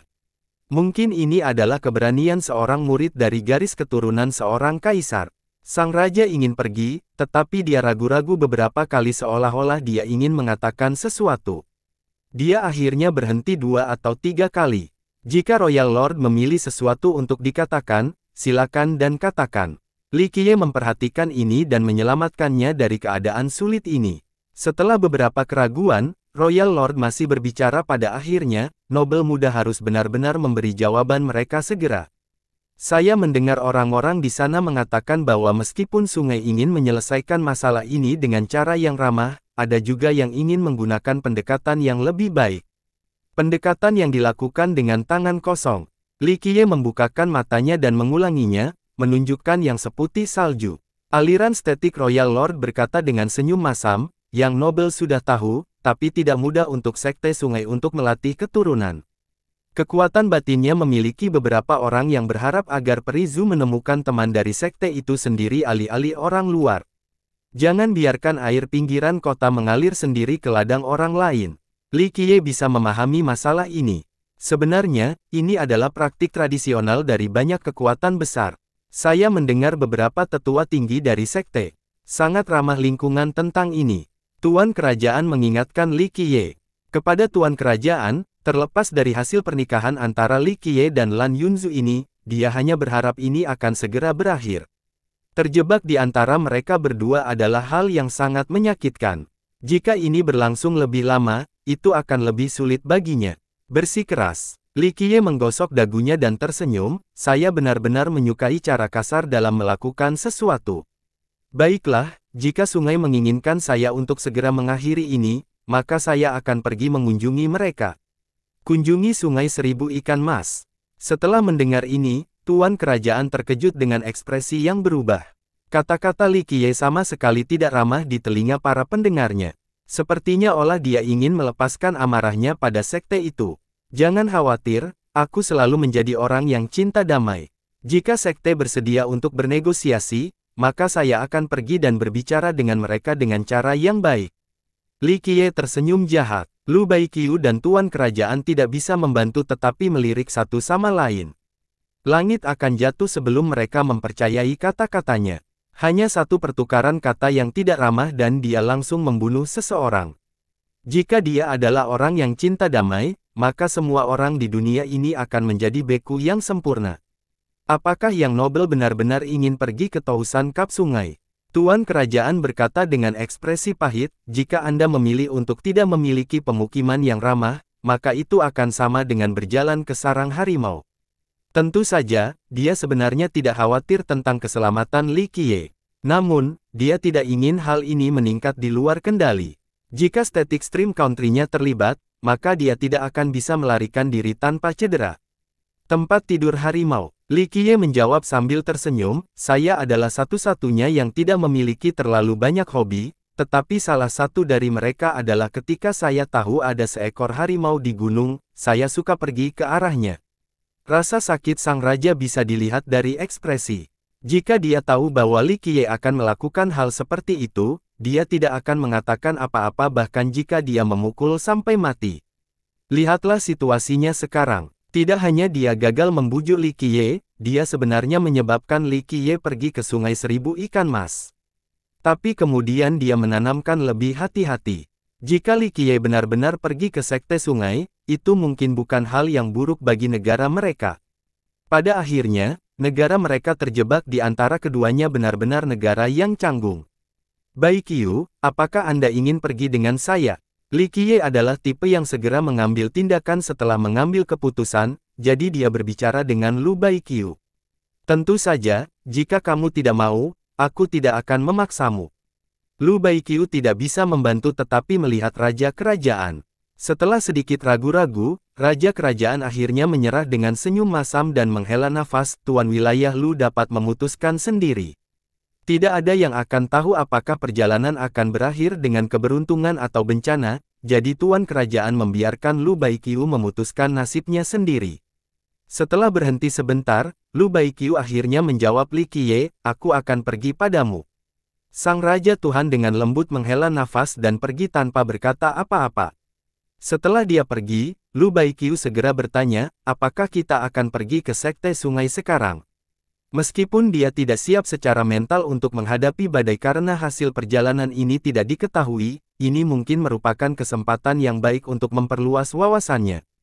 Pada akhirnya, Kepulauan Seribu terlalu kecil. Jika Anda tidak memiliki pengaturan untuk dibuat, maka kami akan pergi sekarang.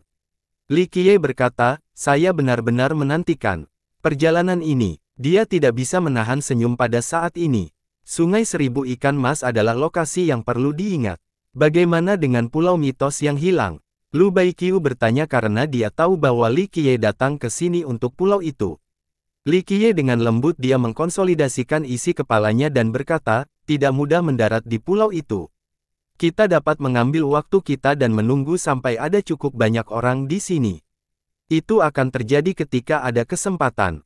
Selama cukup banyak darah yang ditumpahkan dan cukup nyawa yang diambil, akan ada kesempatan untuk pergi ke pulau yang hilang. Tentu saja, Li Qiye tidak akan mengucapkan kata-kata ini dengan keras. Lu Baiqiu tidak harus membuat pengaturan, jadi dia pergi bersamanya ke Sungai Seribu Ikan Mas. Sebenarnya, negara aliran statis sangat jauh dari Sungai Seribu Ikan Mas. Tentu saja, itu bukan masalah bagi Li Qiye, tidak butuh waktu lama sebelum dia sampai di sana. Sungai Seribu Ikan adalah garis keturunan seorang kaisar yang didirikan oleh Kaisar Abadi Qianli, dan dia menggunakan sungai itu sesuai namanya. Sebagai garis keturunan seorang kaisar, mereka memiliki kendali atas sebagian besar tanah di kedua tepi sungai. Dan bahkan jika mereka tidak memiliki kendali langsung, banyak negara dan sekte di kedua tepi sungai itu berada di bawah ke sekte. Kekuatan dan pengaruhnya sama-sama hebat. Sebagai kaisar abadi dari dunia suci-suci, prestise kaisar abadi Qianli tetap kuat. Meskipun diberi nama setelah sungai, tanah leluhur sekte itu tidak dibangun di sumber sungai. Alih-alih, itu dibangun di danau terbesar di pusat sungai, Tousan Cup Lake. Saat berdiri di atas danau seribu ikan mas, tidak ada yang akan berpikir bahwa itu adalah sebuah danau karena terlihat seperti danau, lebih seperti lautan. Tidak aneh untuk memiliki perasaan seperti itu, sebagai danau terbesar di dunia suci Nether, itu sangat luas. Permukaan danau memiliki ombak yang megah, seperti samudera yang perkasa. Ada banyak legenda tentang Tousan Cup Lake bersama dengan banyak rahasia tersembunyi. Awan jauh di selatan memiliki kisah tentang bagaimana Kaisar Abadi Qian Li datang dari danau ini. Karena asal mula ini, Kaisar memiliki gelar Qian Li, ia bahkan menciptakan sekte dan menempatkan fondasi Kaisar Sekte tepat di bawah sungai ini. 1. Pengingat lain, Qian Li sama dengan seribu ikan mas. Tentu saja, ini hanya anekdot dan tidak ada yang tahu yang sebenarnya. Rahasia yang tersembunyi di dalam danau itu seperti kaisar yang diselimuti misteri. Saat berdiri di atas danau, siapa pun dapat merasakan uap udara dan energi roh menyatu untuk mengangkut ke wajah mereka. Danau itu seolah-olah akan menumpahkan ruah dari energi duniawi yang terkumpul. Spoiler titel sama dengan 399 teaser, setelah Li Qiye kembali ke pulau kecilnya, Static Stream Royal Lord sudah menunggu di sana. Negara Static Stream merasa cukup tak berdaya di dalamnya. Bagaimana mungkin sungai seribu ikan mas tidak terburu-buru? Lan Yunzu adalah keturunan mereka yang telah dipersiapkan dengan upaya yang tak terhitung banyaknya. Akan aneh jika sekte itu tidak menjadi gila karena prospek dia menikahi orang luar. Bocoran, Li Qiye membawa Lu Baiqiu di sebelah danau dan bisa melihat gelombang biru menerjang bang. Melihat lebih jauh, orang dapat melihat banyak pulau di danau menciptakan pemandangan hijau yang indah yang memiliki banyak bangunan megah dan jembatan besar. Banyak paviliun berdiri berdekatan satu sama lain di pulau-pulau ini dengan kuil-kuil kuno melayang di atas langit. Bahkan ada pagoda di bawah permukaan danau, memancarkan sinar susunan formasi. Lalu, ada kapal-kapal sebesar pulau yang memasuki langit di atas sungai. Jembatan menakjubkan yang menghubungkan pulau-pulau ini bersama dengan batang pohon kuno. Pusat danau. Bahkan lebih menguntungkan dengan energi yang menyelubungi samar-samar seolah-olah tertutup oleh AC. Itu sangat misterius dan membuat orang lain ingin masuk ke dalam untuk melihat semuanya. Namun, aspek yang lebih membuka mata bukanlah lanskap, melainkan setan memasuki dan meninggalkan daerah ini. Banyak setan besar sedang berpatroli di seberang danau. Beberapa memiliki kepala manusia dengan tubuh ular, lalu ada manusia ikan dan setan penyu membawa cangkang tebal. Ada banyak setan yang tinggal di sungai seribu ikan mas. Itu adalah sekte yang terbuat dari manusia dan setan, simbol paling kuat dari dua ras di dunia nether suci. Di dalam sungai dan di tengah alur yang dalam, terkadang ada pemandangan seperti naga sebagai banjir. Naga akan muncul di danau, menciptakan gelombang pasang yang menakutkan. Apakah itu naga sejati? Pertanyaan. Itu hanya naga banjir. Garis keturunannya bahkan tidak mendekati naga sejati. Li Qiye sambil menjawab sambil tersenyum. Lebih jauh di Cakrawala, orang bisa melihat sejenis ikan phoenix berenang di sekolah bersama-sama.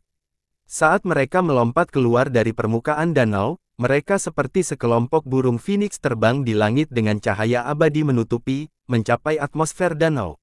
Di setiap batu besar di bawah danau, ada kura-kura tidur dan menyerap energi duniawi dari inti mulut mereka. Meskipun kura-kura ini belum mencapai Dao, mereka sudah mendapatkan ciptaan yang luar biasa dari dunia ini. Ada juga kepiting mengerikan yang meniup gelembung. Begitu gelembung-gelembung ini jatuh ke tanah, mereka berubah menjadi permata yang segera dikumpulkan oleh beberapa murid. Burung-burung ilahi bersarang di tebing pulau-pulau ini. Mereka menggunakan rumputan yang berharga untuk membangun sarang mereka, meskipun demikian, meskipun mereka berbaring di sarang mereka, mereka masih mentransmisikan seluruh pulau dengan cahaya lima warna. Lu Baiqiu tercengang ketika dia mengambil semua adegan kaya dari danau seribu ikan mas ini. Dia seperti seorang perawat tua yang basah, mengunjungi rumah seorang pejabat besar untuk pertama kalinya. Meskipun melihat lautan di Kepulauan Seribu secara teratur, Danau Seribu Ikan tidak indah karena tidak memiliki begitu banyak pemandangan ajaib. Ada juga setan di Kepulauan Seribu, tetapi mereka jauh dari luar biasa seperti yang ditemukan di sini. Sebenarnya, ini tidak aneh sama sekali. Banyak ahli sekte sungai yang kuat semuanya berasal dari danau. Danau ini adalah tanah harta karun, begitu banyak keberadaan yang tumbuh di sini pada akhirnya bisa mencapai pencapaian dan menjadi iblis. Setelah makhluk-makhluk ini mendapatkan perasaannya sendiri, mereka memiliki kesempatan untuk bergabung dengan Sungai Seribu Ikan Mas dan menjadi murid. Selain itu, setan-setan ini memiliki keuntungan besar karena mereka tumbuh di dalam danau dan menerima perawatan dari tanah harta karun ini, sehingga jalur masa depan mereka sangat optimis. Orang bisa mengatakan bahwa lebih dari setengah eselon di atas Sungai Seribu Ikan adalah makhluk dari danau yang telah berubah menjadi setan. Oleh karena itu, banyak orang di dunia suci-suci percaya bahwa seribu ikan mas danau adalah tempat harta karun yang tak terduga. Bahkan ada karakter luar biasa yang percaya bahwa ada harta karun tertinggi yang tersembunyi di bawah danau. Berdiri di atas danau menyebabkan Li Qiye memiliki banyak perasaan. Perasaan yang begitu familiar, energi roh tak terbatas dari sungai ini membuatnya tenggelam dalam kenangan. Sebelum pemandangan yang menakjubkan, Siapa yang tahu bahwa di masa lalu, danau ini tidak memiliki penampilan seperti itu? Siapa yang tahu bahwa sebelum sekte sungai didirikan di sini, tidak ada yang akan mengira bahwa tempat ini adalah tanah harta karun? Sementara mereka berdua menyaksikan area di tepi danau, sebuah kapal patroli kecil datang oleh. Berdiri di atas kapal kecil adalah setan udang dengan kepala manusia dan tubuh udang, memegang garpu rumput. Dia datang lebih dekat dan bertanya kepada Li Qiye dan Lu Baiqiu, apakah rekan-rekan Tao hanya ingin melihat-lihat, atau apakah Anda ingin memasuki sekte? Bagi sekte, danau menghasilkan banyak harta yang menakjubkan dan ini akan menyebabkan keserakahan petani yang tak terhitung jumlahnya. Jadi, begitu orang luar mendekati danau, itu akan segera memunculkan pertanyaan dari para murid yang berpatroli. Pergi, beritahu orang tua Anda bahwa cucu sekte Anda ada di sini untuk mengunjungi keluarga ibu kandungnya. Li Qiye berkata dengan senyum lebar. Kata-katanya menyebabkan ekspresi setan udang ini sangat berubah ketika berbicara dengan nada serius, rekan Daois, orang dapat makan banyak hal dengan sembarangan, tetapi orang tidak bisa mengucapkan kata-kata yang ceroboh, atau mereka dapat menyebabkan masalah bagi diri mereka sendiri. Lu Baiqiu sangat baik, jadi dia memberi tahu setan itu dengan suara rendah, orang ini adalah pertunangan dari Perizu. Dia datang ke sini untuk berdiskusi dengan sesepuh sekte. Dia memang memiliki niat baik dan tidak ingin melihat setan udang ini mengganggu Li Qiye, itu akan menyebabkan bencana. Iblis udang ini bingung ketika dia menatap Li Qiye dengan tak percaya. Hanya ada satu orang yang disebut Perizu di sekte mereka, dan itu adalah tuan muda mereka, Lan Yunzu. Itu menatap teman yang tampak biasa sebelum itu. Putri mereka adalah yang tercantuk di Cloud Jauh Selatan, seseorang yang dipuja dan dipuja oleh keturunan yang tak terhitung jumlahnya dari kekuatan besar. Apalagi hanya dalam sekte mereka, banyak anak jenius di dalamnya, tapi tidak peduli betapa menakjubkannya jenius ini, tidak ada dari mereka yang mendapatkan bantuan putri mereka. Sekarang, seorang pertunangan tiba-tiba muncul. Selain itu, tidak peduli dari sudut mana orang melihatnya, orang ini tampak biasa. Tampil biasa, temperamen yang biasa, dan terpana biasa. Iblis udang tidak berani mengambil keputusan sendiri tentang masalah seperti itu. Butuh napas besar dan segera berkata, tunggu di sini, saya akan segera pergi dan melaporkan ini. Setelah mengatakan itu, dia berlari menjauh dan dengan cepat menghilang dalam kabut. Setelah itu pergi, Li Qiye melihat ke arah Lu Baiqiu dan mengungkapkan senyum lembut, sepertinya kamu benar-benar memiliki hati yang baik ah. Lu Baiqiu tersenyum masam dan berkata dengan suara rendah, kita tidak perlu menjangkau sekte sungai sampai titik pertemuan yang tidak bisa didamaikan, kan? Jika semua orang mundur, maka kita semua bisa menikmati pemandangan terbuka tanpa batas. Tentu saja, Lu Baiqiu berbeda dari Li Qiye. Dia akhirnya memiliki latar belakang yang rendah hati, ditambah static stream country hanya sekte kelas 2. Dia tidak memiliki kekuatan untuk melawan monster besar seperti sungai seribu ikan mas. Minggir, Li Qiye dengan lembut tersenyum dan enggan berkata, itu bukan urusan saya, tapi terserah mereka. Jika mereka ingin melawan saya, maka tidak perlu mengambil langkah mundur. Lu Baiqiu hanya bisa diam-diam menghela nafas.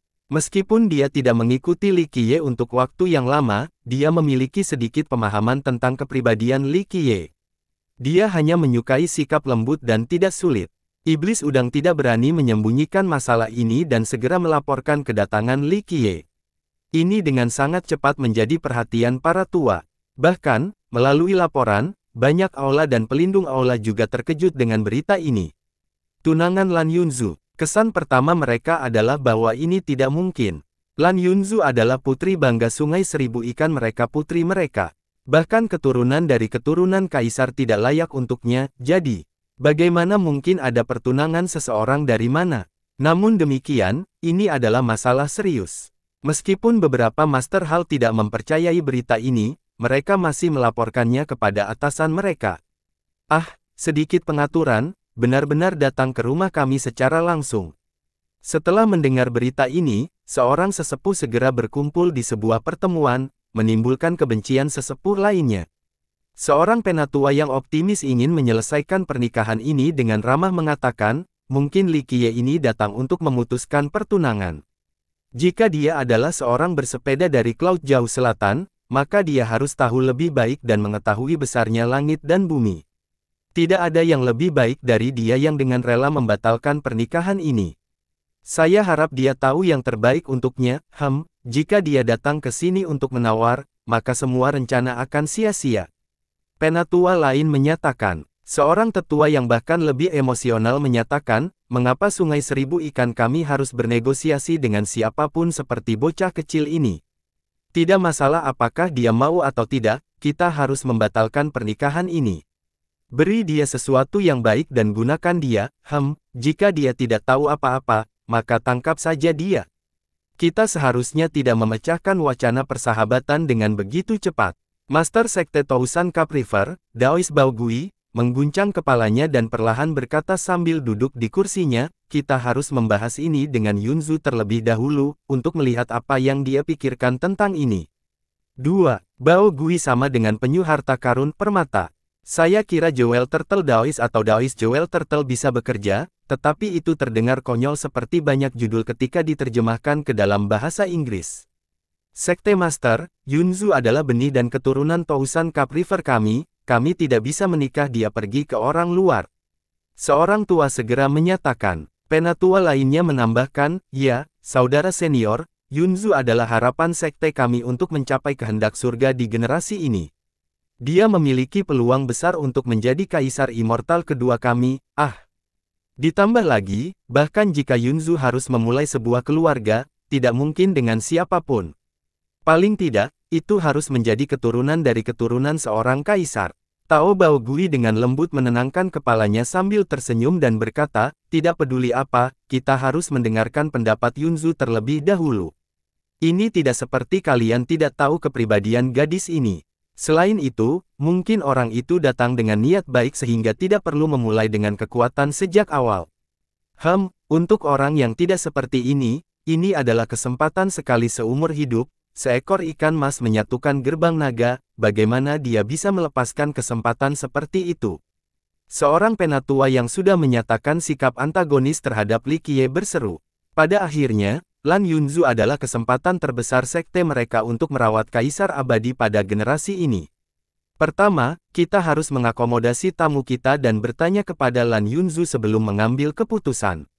Daois Baogui tersenyum, sekte kita adalah sekte yang terhormat, bukan yang akan kembali pada kata-katanya. Dia adalah tamu, jadi biarlah para murid memperlakukannya seperti tamu terhormat tanpa ditunda. Meskipun beberapa tetua tidak setuju dengan hal ini, karena ketua sekte telah memutuskan, anggota lainnya tidak mengatakan hal lain. Bersambung